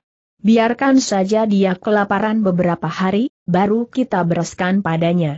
Dalam mendongkolnya, Sincu menimpuk pula dua kali tetapi kali ini tanpa hasilnya, bunganya itu terdengar mengenakan batu. Karena ini, kegembiraannya menjadi lenyap. Nona, legakan hatimu, kau memandangilah segala apa dengan gembira. Berkata si anak muda tertawa. Kalau ada lagi tikus-tikus yang mengganggu padamu, nanti aku yang mengusirnya. Benar saja, tidak jauh dari situ, terlihat berkelebatnya satu bayangan orang. Tanpa menanti si Nona menyerang, si anak muda sudah menyentil jari tangannya. Ia menyentil sebutir batu. Aduh! Terdengar jeritan di sana, disusul sama tindakan kaki kabur. Inilah ilmu Tan Ye Sintong yang lihai. Berkata si Nona dengan pujiannya. Itulah ilmu menyentil batu. Karena ini, ia jadi berpikir. Ia tahu, di dalam ilmu semacam itu, orang terlihai adalah tenggak, yang menjadi supeh cownya, tenggak itu ada supeh atau paman seperguruan dari Tan Hong, gurunya sendiri. Cuma supeh cowok itu berada jauh di gurun pasir. Hanya pada sepuluh tahun yang lampau, pernah supeh cowok itu datang ke Tionggoan. Pemuda ini bicara dengan lagu suara Kang Lam, maka aneh dia mempunyai ilmu menyentil itu. Ia menjadi menanya dirinya sendiri. Mungkinkah pengalamanku yang cepat hingga aku tidak ketahui di sebelah Supeh Chow Tengga ada lagi lain orang yang pandai ilmu ini? Sin Chu memikir untuk menanyakan keterangan pada si anak muda, tapi sementara itu, mereka berjalan terus, hingga di depan mereka tertampak sebuah telaga kecil. Di tepi telaga itu ada tumbuh banyak pohon bunga, yang harumnya semerbak. Di lamping bukit pun ada ukiran dua huruf besar, bunyinya. Kiam Hong, artinya, puncak pedang. Maka tidak salah lagi, itulah telaga yang dinamakan Kiam Tai, artinya pangempang pedang. Di permukaan air itu berkacalah seng puncak serta pepohonan lainnya, yang mendatangkan pemandangan yang menajubkan. Maka terbukalah hati pepat dari Sincu, hingga dapat ia bersenandung. Sungguh tepat syairnya Oling Hao yang dipadukan dengan keindahan di sini. Berkata si anak muda. Hanya dunia sedang kacau, mana dapat kita main bersenang-senang saja? Terkejut Sincu mendengar si anak muda. Dia mirip seorang desa tolol tetapi toh dia mengerti Ling Hao Cheng. Pikirnya. Maka dengan sendirinya bertambahlah kesannya yang baik terhadap ini anak muda atau kawan baru yang didapatnya secara kebetulan sekali. Berdiri di tepian, Sincu bagaikan ngelamun. Coba suhu berada di sini, pastilah dia dapat bersyair. Pikirnya pula. Atau mendadak ia ingat Tiat Kengsim. Pemuda si Tiat itu pastilah akan ketarik juga dengan keindahan pengempang ini. Sebenarnya kau bernama apa? Sekonyong-konyong nyatanya si anak muda kepada siapa ia menoleh dan memandanginya. Sesudah berselang lama, baru ia ingat menanyakan nama orang. Aku siap dan namaku Senglim. Menyahut pemuda itu. Apakah kau orang Kang Lam? Sin Chu menanya pula. Tidak salah. Aku asal Sehun di Ciat Kang Barat. Itu artinya kau melakukan perjalanan ribuan li. Untuk apa kau datang ke Inlam ini? Yap Seng Lim ragu-ragu, ia mengawasi si Nona. Aku hendak pergi ke tali untuk mencari satu orang. Sahutnya kemudian. Untuk pergi ke tali, inilah bukan jalanannya. Sin Chu beritahu. Jalanan untuk ke tali ada sebalikannya. Wajahnya pemuda itu menjadi merah. Aku tidak menyangka kau pandai ilmu silat, Nona, bahkan kau lihai sekali. Sahutnya, tak langsung. Ah! Bersuara si pemudi. Aku menanya kau kenapa kau justru mengambil ini jalanan? Tentang ini toh tidak ada hubungannya dengan aku mengerti silat atau tidak? Senglem likat. Aku lihat kau berjalan seorang diri, Nona, dan jalanan tak aman, aku, aku. Sin Chu tertawa lebar. Oh kiranya kau berkuatir untuk diriku, kau jadi hendak melindungi. Katanya. Pantaslah kau mengajak aku jalan bersama-sama. Mendengar lagu suaramu, Nona, kau pun orang Kanglam. Berkata si pemuda, yang memutar haluan. Aku numpang menanya kenapa Nona juga membuat perjalanan ke Inlam ini. Aku juga hendak pergi ke tali. Sahut si Nona tertawa. Tapi, jangan kau kesusu menanya aku. Hendak aku menanya terlebih dulu. Hendak mencari siapakah kau maka kau mau pergi ke tali kau ada orang satu kaum, Nona, tidak halangannya untuk aku memberitahukan. Sahut si anak muda. Aku hendak mencari ahli pedang nomor satu di zaman ini yaitu Kiam Kek Tio Tan Hong. Sin Chu berjingkrak. Tak dapat ia menguasai dirinya lagi. Oh, kiranya kau hendak mencari guruku. Serunya. Sekarang adalah Seng Lim yang terkejut. Apa? Katanya. Tio Tan Hong itu gurumu. Mendadak ia menjura kepada si Nona dan menambahkan. Kalau begitu kaulah suci aku. Suci ye. Ialah kakak seperguruan yang wanita. Siapa gurumu itu? Sin Chu menanya. Ia seperti tak menggubris kata-kata orang. Guruku ialah Su Teng San. Menyahut Seng Lim. Su Teng San ada muridnya Tenggak, belum pernah Sin Chu bertemu dengannya, ia hanya ingat ia mempunyai seorang paman guru yang pernah merantau di selatan dan utara sungai besar dan hidup sebagai tabib penolong rakyat jelata. Sekarang ini berapa usiamu? Ia menanya. Tiba-tiba saja ia tertawa. Ditanya begitu, Seng Lim melengak. Sekarang ini baru 22 tahun, sahutnya polos. Kembali si Nona tertawa. Usiaku baru 17, care bagaimana kau memanggil Sucie padaku? Bilangnya. Kembali Seng Lim menjadi likat, tetapi akhirnya, dia pun tertawa. Sumuai. Ia memanggil. Sumuai ialah adik seperguruan yang wanita. Untuk apa kau mencari guruku? Sin Chu seperti tak pernah kehabisan pertanyaan. Aku diperintah pamanku. Menyahut Seng Lim. Siapa itu pamanmu? Sinona menyerocos. Pamanku itu ialah Yap Chong Liu. Oh kiranya Yap To Ako. Sin Chu berteriak tanpa merasa. Di dalam kalangan tentara rakyat, orang semua menyebut Chong Liu sebagai To Ako, karenanya Sinona ini menuruti kebiasaan itu, Hingga tak dapat ia gampang-gampang mengubah panggilannya itu, kemudian ia jengah sendirinya. Orang ini dan ia ada Suheng dan Sumoai, maka paman orang itu mana dapat ia panggil Toako, kakak. Memang, semua orang memanggil Toako pada pamanku itu. Berkata Seng Lim. Ah, apakah kau bukannya Nona Ie? Ia balik menanya. Kenapa? Tanya Sin Chu heran. Pamanku pernah memberitahukannya bahwa kau pernah membantu banyak padanya. Paman mengatakan kaulah wanita gagah perkasa di zaman ini. Wajahnya si Nona menjadi bersemuh dadu. Terang sudah Chong Liu telah membuka rahasia penyamarannya kepada keponakannya ini. Kenapa selama berada dalam tentara rakyat tak pernah aku melihat mau? Ia menanya, untuk menyimpangi. Itulah karena aku datang terlambat. Tatkala aku dengar paman mengumpulkan tentara untuk melawan perompak Kate, pendek, aku lantas pamitan dari guruku, tetapi ketika aku sampai ke tempat paman, kawanan perompak itu sudah diusir ke laut. Aku menyesal dan malu sudah ketinggalan. Ada urusan penting apa itu maka pamanmu menyuruh kau pergi ke tali. Masih si Nona menanya tak hentinya. Perlu apa kau hendak mencari guruku? Sesudah pamanku mengusir perompak, lantas dia menjunjung Pit Heng Tian menjadi Toa Liong Tau, yaitu pemimpin pusat dari rombongan dari 18 provinsi hektometer. Sin Chu perdengarkan suara dingin. Tidak puas menjadi Toa Liong Tau dari lima provinsi utara, sekarang dia mau menjadi juga Toa Liong Tau dari 18 provinsi. Seng Lim heran, ia melengak. Pit Toa Liong Tau itu pintar dan gagah katanya. Kedudukan itu pamanku yang mengalah dan menyerahkannya padanya. Baiklah, kita jangan bicara tentang Pit Heng Tian itu.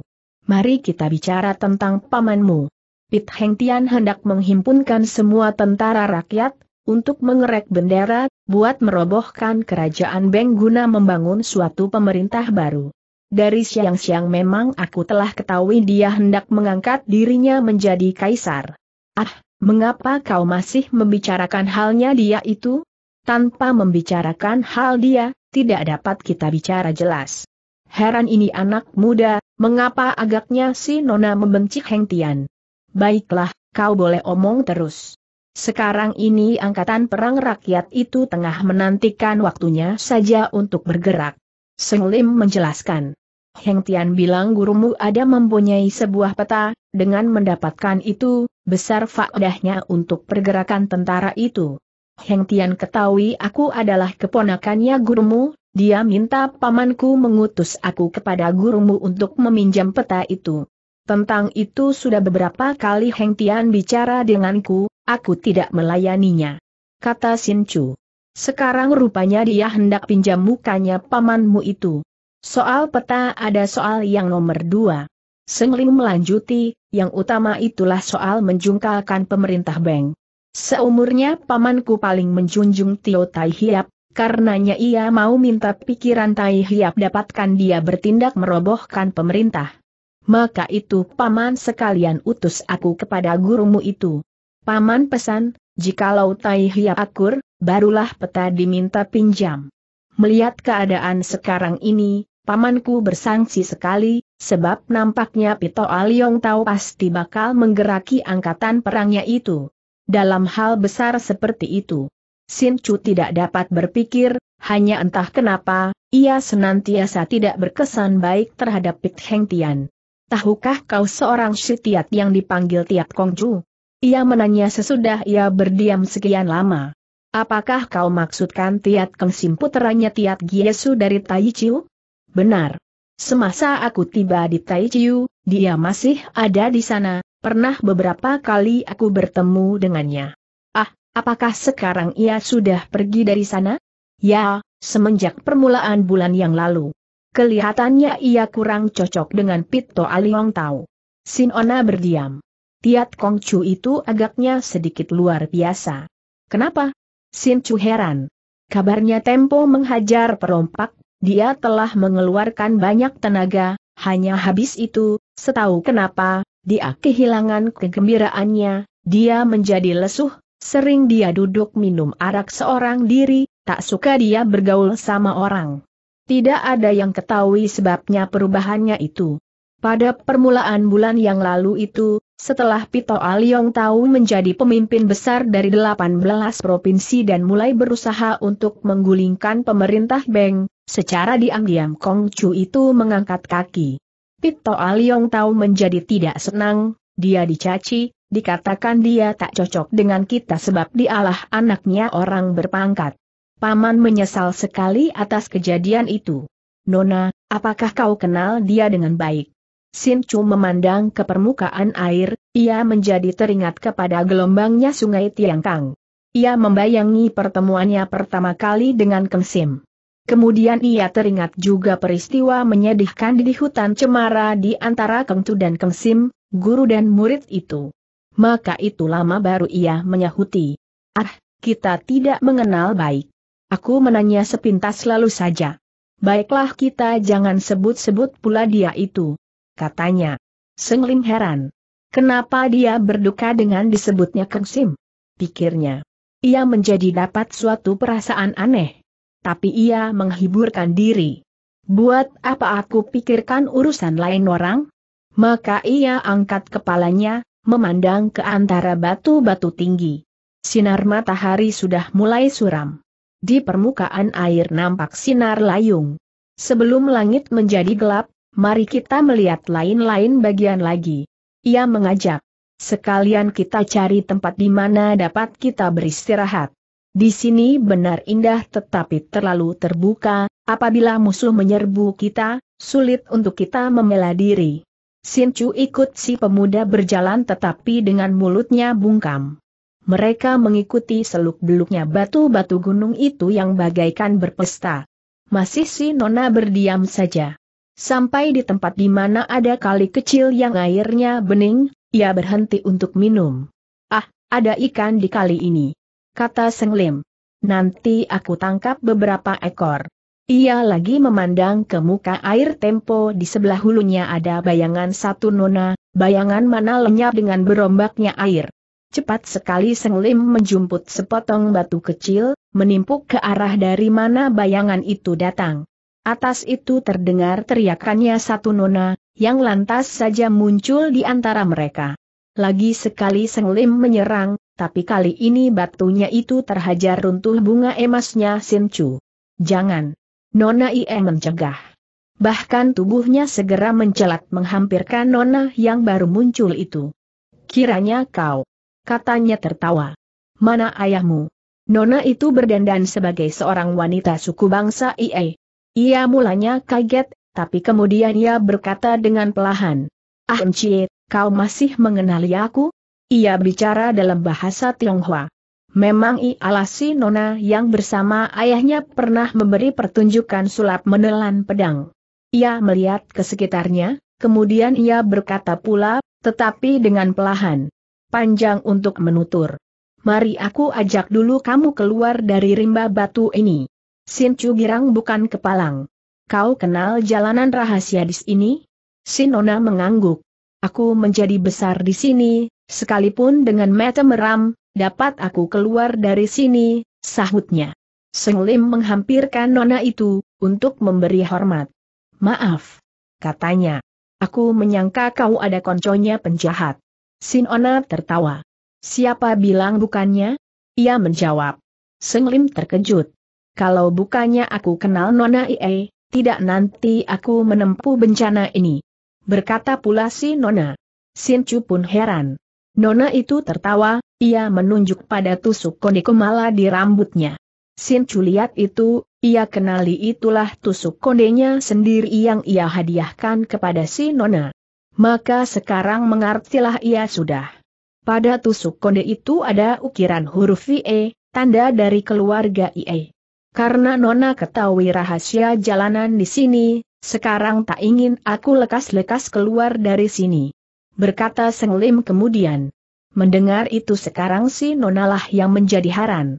Kamu tidak mau lekas berlalu dari sini, apakah kamu hendak menantikan kematianmu? Dia menegaskan. Aku ingin minta bantuanmu, Nona. Kata Seng Lim. Aku ingin usir dulu kawanan penjahat, supaya ini tempat indah tidaklah dinodai mereka itu. Sin Chu sebaliknya berpikir. Nona ini mengaku menjadi konco penjahat dan ia agaknya bukan tengah bermain-main, kenapa Seng Lim berani bicara begini rupa terhadapnya? Nona itu mengawasi si anak muda. Apakah kamu cuma berdua? Ia tanya. Kenapa? Mereka itu berjumlah besar, sedikitnya 200 jiwa, di antaranya ada pahlawan dari kota raja. Bukankah kamu berdua saja? Mendengar itu, berubahlah pandangannya Sin Chu.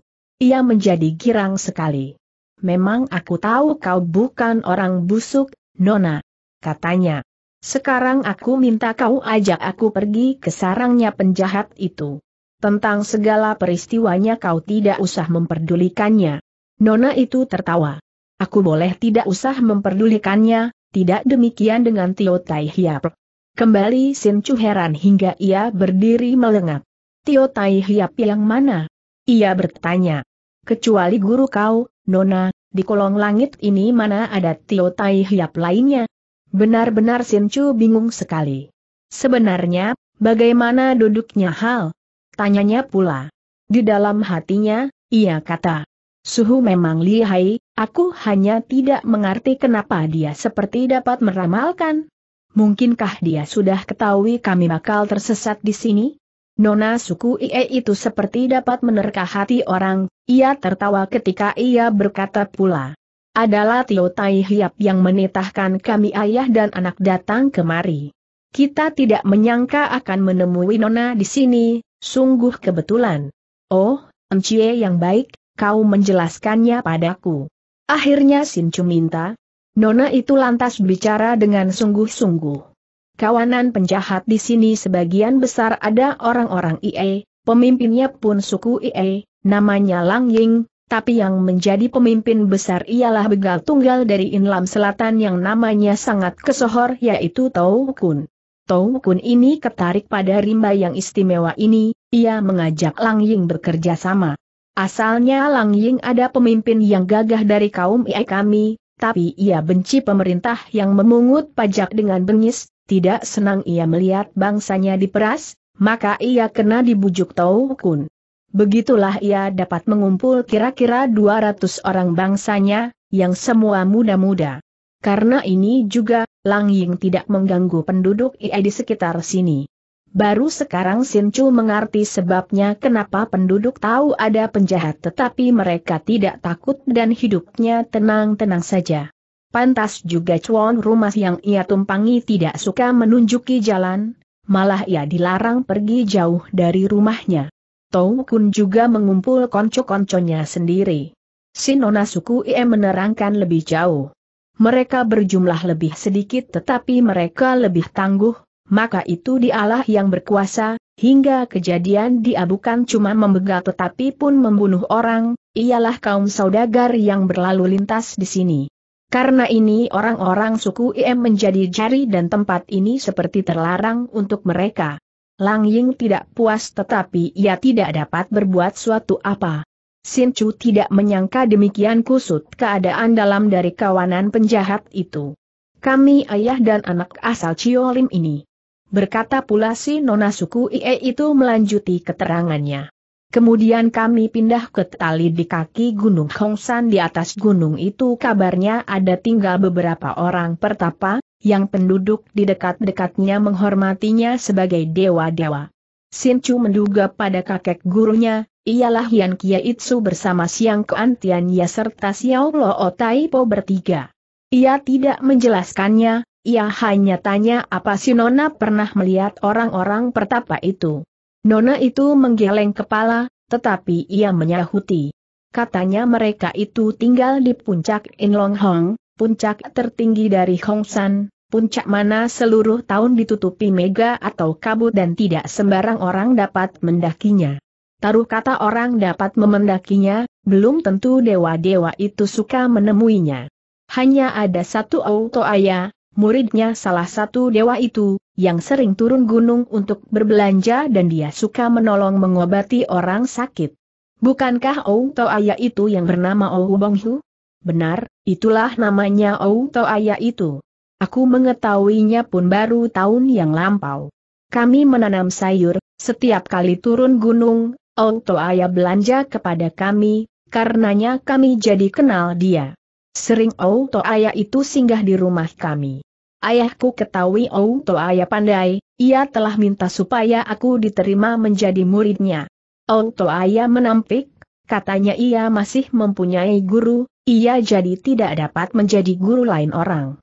Maka ia cuma mengajarkan kami beberapa rupa ilmu silat.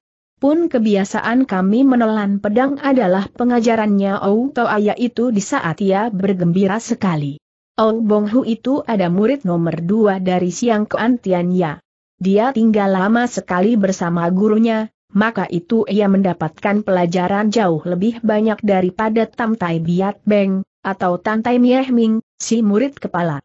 Hanya ilmu menelan pedang itu didapat Ong Bong Hu bukan dari gurunya tetapi dari Hek Pek Moko dengan siapa ia bersahabat erat sekali, dia mempelajarinya secara iseng-iseng. Kamu tinggal aman dan berbahagia di kaki Gunung Hongsan, habis kenapa kamu pindah pula kemari? Tanya Sin Chu. Itulah sebab kami menerima tipahnya gurumu, Nona. Tio Tai Hiap datang ke Hongsan baru di musim semi tahun ini. Ia kenal baik dengan kita. Tai Hiap gemar sekali pesiar. Bahkan Toan Ong Ya sering mengundang dia datang ke istana. Keluarga Toan ini, pada sebelum zaman Goan Tiao, ada menjadi raja di Tali, raja turun-temurun, maka itu meski benar sekarang kedudukannya cuma sebagai Tie Peng Chiang Su, pegawai negeri, rakyatnya saking kebiasaan tetap memanggil Ong Ya, raja muda atau pangeran. Selama yang paling belakang ini Toan Ong Ya hendak mengangkat dirinya menjadi raja. Sinona suku Ie melanjuti keterangannya. Semua suku kami di Inlam menunjang padanya. Karena ini, Toan Ong ya ingat kepada rombongannya Lang Ying, maka disayangi sekali ketika ketahuan Lang Ying menjadi penjahat. Tapi Tio Tai Hiap mengatur daya upaya supaya Lang Ying suka datang ke tali. Kami ada orang Cio Lim sini, dari itu Tio Tai Hiap yang menugaskan ayah untuk dapat membujuk Lang Ying itu. Tio Tai Hiap menugaskan kami datang ke Kunbeng dulu, untuk mengadakan perhubungan dengan Xiao Kong Tia. Baru sekarang Sin Chu sadar kenapa Xiao Kong Tia ketahui alamatnya. Tentulah kau yang membuka rahasiaku. Katanya. Nona itu bersenyum. Harap Nona maafkan aku yang telah menguntit kau. Bilangnya. Hanya berhenti sebentar, si Nona suku Ie berbicara pula. Aku ada mempunyai satu kakak nisan yang menjadi salah satu sebawahannya Lang Ying itu, dengan kakak itu kami membuat perhubungan. Sudah tiga hari kami berada di sini, masih kami belum dapat menemui Lang Ying sendiri untuk berbicara dengannya. Kakak misanku itu bilang Lang Ying dikekang Tau Kun, mungkin dia tidak berdaya. Baru kemarin ini ada datang beberapa pahlawan dari kota raja, satu di antaranya yang bernama Hantian ada saudara angkatnya Tau Kun. Tou Kun hendak dibujuk buat menjadi mata-matanya pahlawan-pahlawan itu. Tentang ini kakak misanku itu belum berani membebernya pada Lang Ying. Kamu telah dipancing masuk ke dalam rimba ini, itulah hasil tipu dayanya hantian suami istri serta Tou Kun itu. Kabarnya semua pahlawan itu lihai apa pula yang menjadi kepala yang bernama Li Ham Chin. Cuma sebegitu saja. Kata Sincu, yang mendadak berhenti berkata. Sebab tiba-tiba ia ingat suatu apa. Keningnya lantas dikerutkan. Musuh berjumlah besar, baik Nona Ie jangan sembarangan. Kata si Nona suku Ie, yang menyangka orang menyesal sudah omong besar tadi. Tidak ada artinya beberapa pahlawan itu. Sin Chu kata tertawa. Bersama-sama Yapto aku, dapat aku melayani mereka. Apa yang aku khawatirkan ialah kami nanti melukai banyak orang bangsamu. Nona suku Ie itu berpikir. Kalau Nona merasa pasti, suka aku membantu. Kemudian ia menawarkan diri. Ia mengeluarkan sehelai bendera kecil, yang bersulamkan dua ekor singa, terus ia serahkan itu kepada Sincu sambil menambahkan. Inilah bendera Toan Ongya. Tidak ada suku bangsa di Inlam yang tidak mengenal ini. Kalau Nona bisa mengalahkan Tau Kun serta beberapa pahlawan itu, bisalah kau gunai bendera ini untuk panggil menakluk Lang Ying itu. Inilah bagus, Sin Chu girang menerima bendera itu. Bagus, katanya. Sekarang kau pimpinlah aku ke sarang mereka. Kawanan Tau Kun itu bersarang di atas bukit Tai Kim Niadi dalam rimba batu itu, itulah bukit tertinggi. Ke sana si Nona suku Ie mengajak Sin Chu dan Seng Lim. Mereka mesti berjalan berliku-liku dan naik dan turun, nyeplos di antara batu-batu tinggi seperti pedang atau tombak itu. Pula ada puncak-puncak yang dihubungi satu dengan lain dengan batu panjang aneh bagaikan jembatan. Syukur Sincu dan Seng Lim yang mengikuti si Nona suku Ie itu, kalau tidak pastilah orang telah terhalang di tengah jalan saking sukarnya jalanan itu. Tatkala itu Seng waktu sudah mulai maghrib. Kagum Sincu menyaksikan keletakan tempat. Tidak tepat tempat seindah ini dijadikan sarang penjahat. Berkata ia. Biarnya bukan untuk Toan Ong ya, pasti suka aku membasmi mereka ini. Sinona suku Ie benar-benar mengenal baik rimba batu itu. Ia maju tanpa ragu-ragu sampai mereka berada di kaki bukit Tai Kimnia itu. Di atas puncak terlihat sinar api.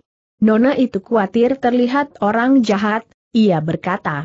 Untuk sampai di puncak yang menjadi sarang penjahat itu perlu dilewatkan tiga puncak yang kecilan yang berada di jalanan mendaki ini, maka itu sampai di sini, silahkan Nona maju sendiri. Aku doakan hasilmu. Setelah sarang penjahat pecah, nanti kita bertemu pula. Sin Chu menerima baik. Memang tidak dapat Nona itu turut menyerbu mereka berpisahan. Seberlalunya si Nona, Sincu berbicara pada Senglin, untuk bermupakatan. Selama berbicara, mereka berduduk di tanah. Sincu setuju masuk langsung, untuk melabrak kawanan penjahat itu. Lebih baik kita berpencar. Senglin memberi usul. Ia bicara sambil tertawa. Musuh lihai, mereka pun berjumlah besar, jangan kita sembrono. Baik kau yang menyerang dari depan, untuk melayani kawanan pahlawan kaisar itu. Aku akan masuk dari belakang, lebih dulu aku nanti membakar sarang mereka, supaya mereka bingung dan kacau, tanpa mereka ketahui berapa besarnya jumlah kita. Dengan musnahnya sarang mereka, Lang Ying lebih gampang dibujuk. Diam-diam Sin Chu mengagumi anak muda ini, yang pandai bekerja. Kalah Kengsim kalau mereka berdua dipadu. Kengsim lebih banyak tembrang. Karena orang bicara dengan beralasan, keputusan lantas diambil. Maka itu, lantas juga mereka bekerja. Yang satu maju langsung dari depan, yang lain jalan ngitar ke belakang. Mereka akan turun tangan begitu lekas masing-masing sudah tiba, tak usah mereka saling memberi pertandaan lagi. Sincu berjalan cepat, ia berlari-lari. Puncak pertama dilewatkan tanpa penjaganya dapat mengetahui. Di puncak kedua ia terpergok, ia pun dipanah, tetapi ia melawan, dengan bunga emasnya ia robohkan penjaga itu. Ia kaget ketika ia melihat panah, yang dipakai menyerangnya, nancap di batu, suatu tanda si penyerang bukan sembarang orang. Karena ini, ia jadi waspada. Ia loloskan pakaian orang, untuk ia pakai. Dengan penyamarannya ini, ia menghampirkan puncak yang ketiga. Tiba-tiba dua bayangan menghampirkan padanya. Eh, Ciu Toako, kenapa kau tidak menjaga di bawah? Ia ditegur. Ia terkejut. Mahir ilmu ringan tubuhnya tetapi orang masih dapat mempergokinya. Ia tahu, Si penjaga yang ia binasakan tadi rupanya orang Si Ciu dan ia disangka Si Ciu itu. Ia menyambut mereka dengan ayunan tangan, maka sekejap saja, dua-dua mereka roboh karena bunga emasnya. Memang, di puncak kedua dan ketiga, penjaga-penjaganya adalah orang-orang yang diandalkan Tau Kun. Tetapi mereka semua masih tidak dapat merintangi si Nona. Sin Chu maju terus hingga ia mendekati markas penjahat. Ia masih menyamar, cuaca pun suram, tidak gampang untuk orang mempergokinya. Orang pun tidak menyangka musuh dapat memasuki Ciolim yang terahasia itu. Demikian ia dikasih lewat tanpa teguran. Dari dalam terdengar ramai orang berpesta, dari orang yang main tebak-tebakan tangan. Puas mereka merayakan pesta kemenangannya. Sin Chu kata dalam hatinya. Ia bersenyum mewah. Memang itulah pesta kemenangan. Hang Jieso, inilah jasamu yang besar. Terdengar suaranya Li Chin, yang tertawa lebar. Mereka telah terkurung, tinggal dibekutnya saja, tidaklah apa, Hang Jieko terluka sedikit. Lo Chu terlalu memuji. Terdengar jawaban seorang wanita, tidak berani aku menerima jasa. Sebenarnya jasa harus didapatkan oleh Tou Chu, yang mengizinkan Lim dipakai sebagai gelanggang pancingan. Tapi dua titik itu sukar untuk dibekuknya. Li Ham Chin tertawa pula. Sebenarnya, semuanya berjasa. Katanya pula. Sekarang ini yang Congkoan sudah tiba di Kunbeng, maka kedua titik itu boleh kita serahkan saja padanya, lalu habislah tanggung jawab kita. Bahkan kita boleh mengharapkan pahala. Tou Tseocu, jikalau dikehendaki olehmu, boleh kau minta yang Congkoan bicarakan pada Bokong Tia supaya kaulah yang diangkat menjadi raja setempat di sini. Kalau itu sampai kejadian, sungguh tepat, jadi kau tidak usahlah menjadi raja dari rimba Ciolem ini. Aku juga tidak mengharapkan jasa atau pangkat. Terdengar suara nyaring dan kasar dari Tau Kun. Hanya, Aku tanya, boleh tidak kalau itu bocah Syiai diserahkan padaku? Li Ham Chin si pahlawan kaisar tertawa. Tahukah kau dia orang apa? Tanya pahlawan ini. Dialah puterinya Ie Kiam. Dialah si anak pemberontak yang dicari Sri Baginda. Bagaimana kau dapat menghendaki dia? Agaknya Tau Kun terkejut. Dia puterinya Ie Koklo. Katanya. Oh, celaka aku, celaka aku. Coba aku mengetahuinya siang-siang, tidak nanti aku memikir gila-gila demikian. I Ekiam sangat dihormati orang banyak, sekalipun Tau Kun, dia masih menghargainya. Apa? Kau jeri untuk namanya I Ekiam? Li Ham Chin tanya. Menurut undang-undang pemerintah, siapa berdosa, kedosaannya turun kepada anak-anaknya, anak-anaknya itu akan dijadikan budak. Bocah itu sangat cantik, Aku khawatir Sri Baginda sendiri yang nanti menghendakinya. Kalau tidak, dengan mengodol banyak uang, ada harapan kau mendapatkan dia. Kembali pahlawan ini tertawa, hanya kali ini, tertawanya itu dibarengi sama suara memberebek di tenda gubuk, lalu sebuah sinar emas melesat masuk. Menyusul itu orang yang dipanggil Han Jieso menjerit keras, tubuhnya roboh. Satu sinar pun menyambar ke arah Li Ham Chin, tetapi dia awas dan sebat, dia sempat mencabut goloknya dan menangkis, hingga sinar emas itu mental. Hanya, berbareng dengan itu, Sim Chu lompat masuk, matanya mendelik, pedangnya diputar. Tong Kun kaget hingga ia duduk menjublak. Kembali Nona Ie mengayun tangannya, kali ini tiga bunga emas melesat dari tangannya.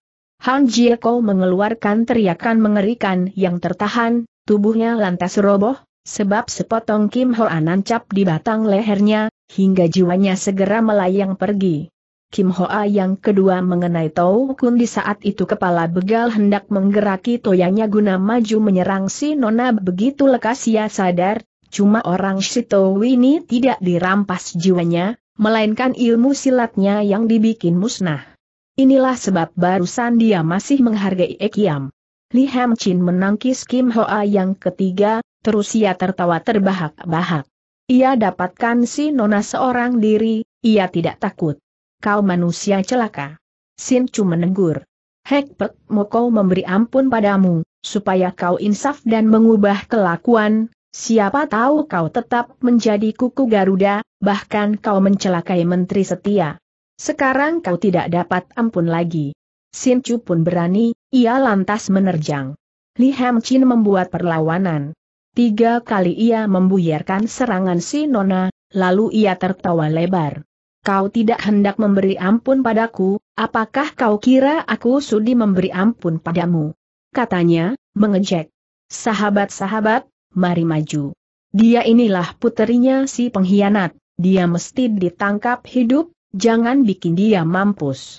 Li Ham Chin membawa empat Xiaoye, pahlawan, kecuali Hontian yang telah terbinasa itu, masih ada tiga yang lainnya, yang semuanya pilihan, maka ia menganjurkan mereka ini maju mengepung Nona Ie. Maka Sincu lantas saja terkurung. Nona itu bersenyum mewah. In mainkan pedangnya melayani empat musuh itu. Ia perlihatkan ilmu pedang Hian Kie Kiam Hoat. Walaupun ketiga musuhnya gagah, ia membuatnya mereka itu repot. Syukur mereka mendapat bantuannya Li Ham Chin yang lihai itu, kalau tidak paslah siang-siang senjata mereka sudah terbabat kutung.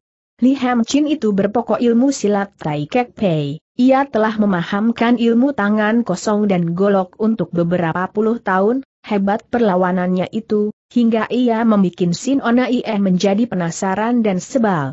Maka Sin Chu menyerang bukan main hebatnya. Pertempuran itu dahsyat sekali, seluruh markas menjadi gempar. Tong Kun merayap bangun, ia tidak dapat berkelahi lagi tetapi ia bisa mementang bacotnya. Maka ia teriaki Langging, yang ia panggil Lang Ceocu, untuk membantui dengan menggunakan barisan panah.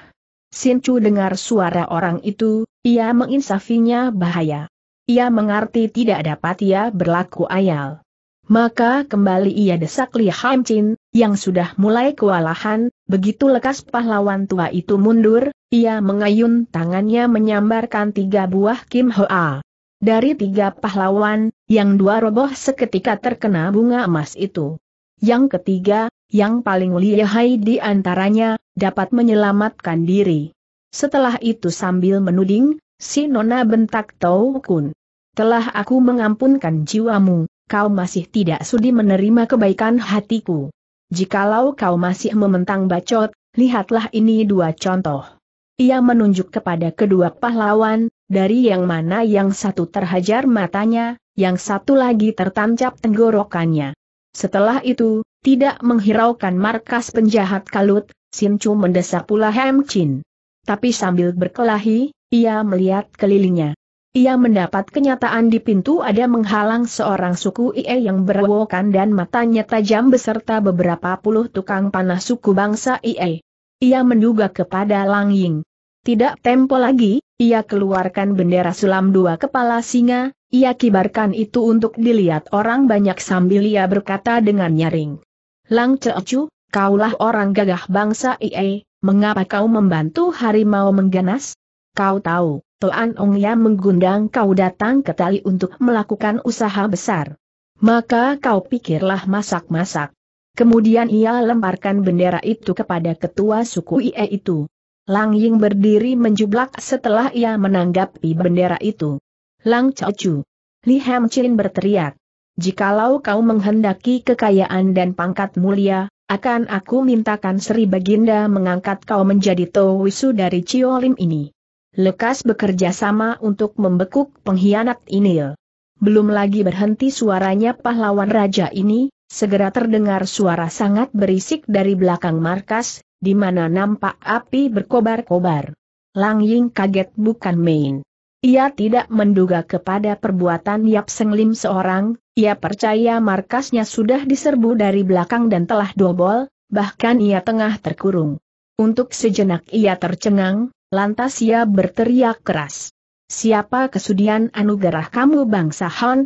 Terus ia mengibaskan tangannya kepada pasukan panahnya. Mundur kamu. Habis itu, ia menghunus goloknya akan maju menerjang, untuk membantui Sin Chu. Li Ham Chin kaget bukan kepalang. Inilah ia tidak sangka. Tapi ia sangat licin. Mendadak saja ia berlompat, tangan kirinya diulur. Ia mainkan jurus dari Kim Na Hoat, pukulan menangkap. Hebat gerakannya itu, sejenak saja, Lang Ying telah kena ditawan olehnya. Sin Chu kaget, ia menikam, tetapi lawan itu memajukan tubuhnya si pemimpin suku Ie itu. Terpaksa si Nona menarik pulang pedangnya. Baiklah, seru si pahlawan. Mari kita mampus bersama. Sin Chu menyerang terus, ia membabat kuping tetapi gagal. Saban-saban tubuh Lang Ying digunakan sebagai tameng. Senang Hem Chin melihat kegagalan orang, bahwa orang sudah kewalahan, maka ia tertawa tergelak-gelak. Tengah pahlawan ini tertawa, mendadak ada seruan hebat di sebelah belakangnya, seruan bagaikan guntur, lalu tanda tersingkap, terlihat bayangan satu orang lompat menerjang masuk. Belum sempat Ham Chin melihat bayangan itu, ia sudah merasakan sakit hingga ke tulang-tulang. Sebab hanya dengan satu kali bergerak, selagi ia repot membela diri dari serangan bertubi-lubi dari Sinchu, tiba-tiba saja lengannya yang kanan kena orang cekuk dan ditekuk. Pasti sekali bayangan itu senglim adanya.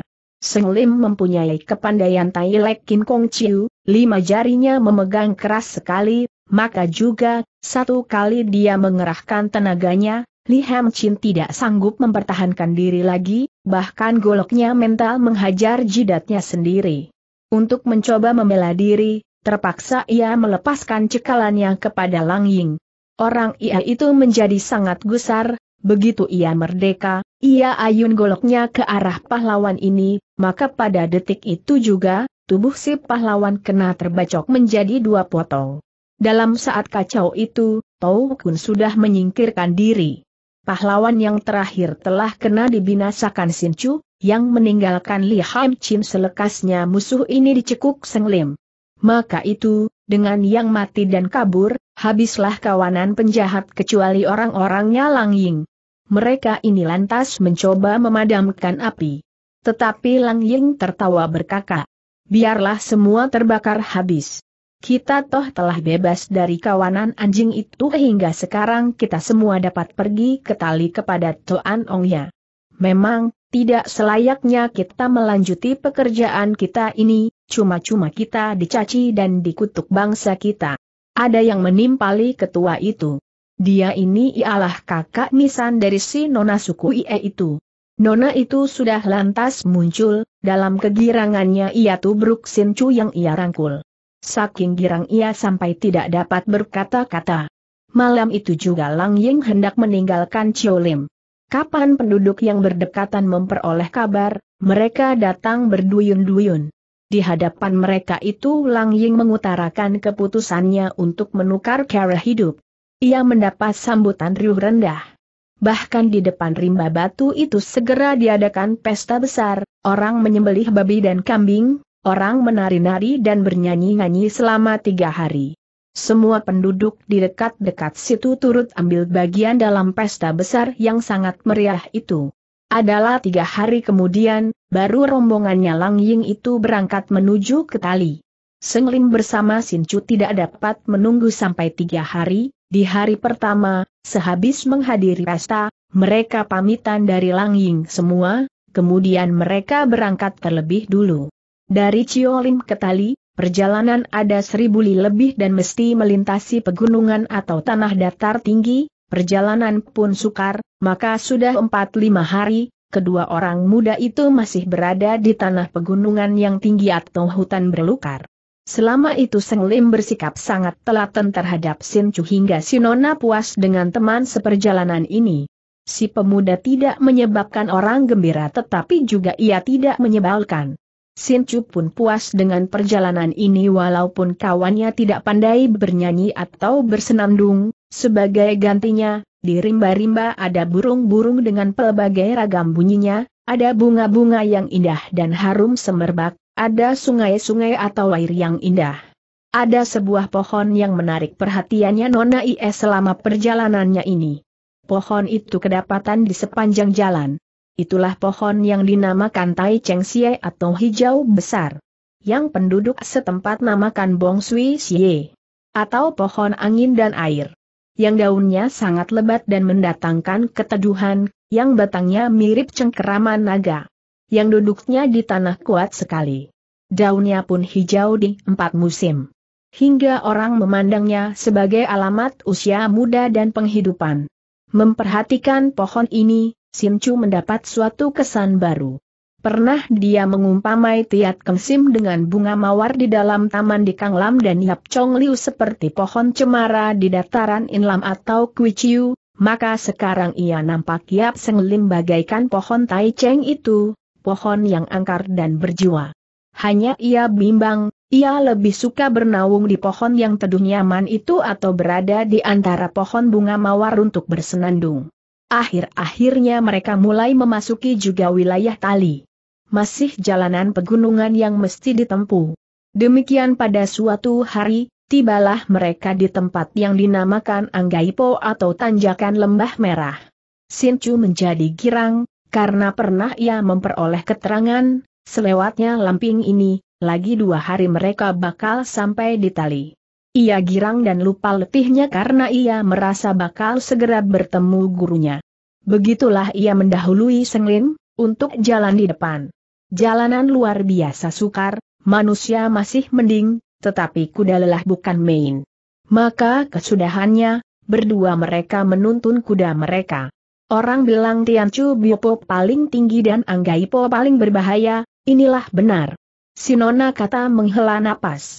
Senglim sebaliknya tertawa dan berkata, Orang bilang tali paling indah pemandangan alamnya, Selewatnya tempat sukar ini orang akan melihat tempat indah seperti taman bunga to. Aku lihat inilah kehendak Tian, yang merencanakan manusia mesti bersusah payah dulu baru beriang gembira. Demikian penghidupan manusia, demikian juga jalanan. Sin Chu ketarik pada kata-kata si pemuda ini, ia merasakan itu ada filsafatnya.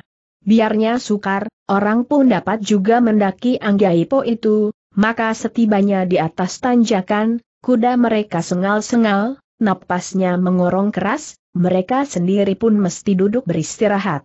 Di sini mereka merasa hati mereka terbuka.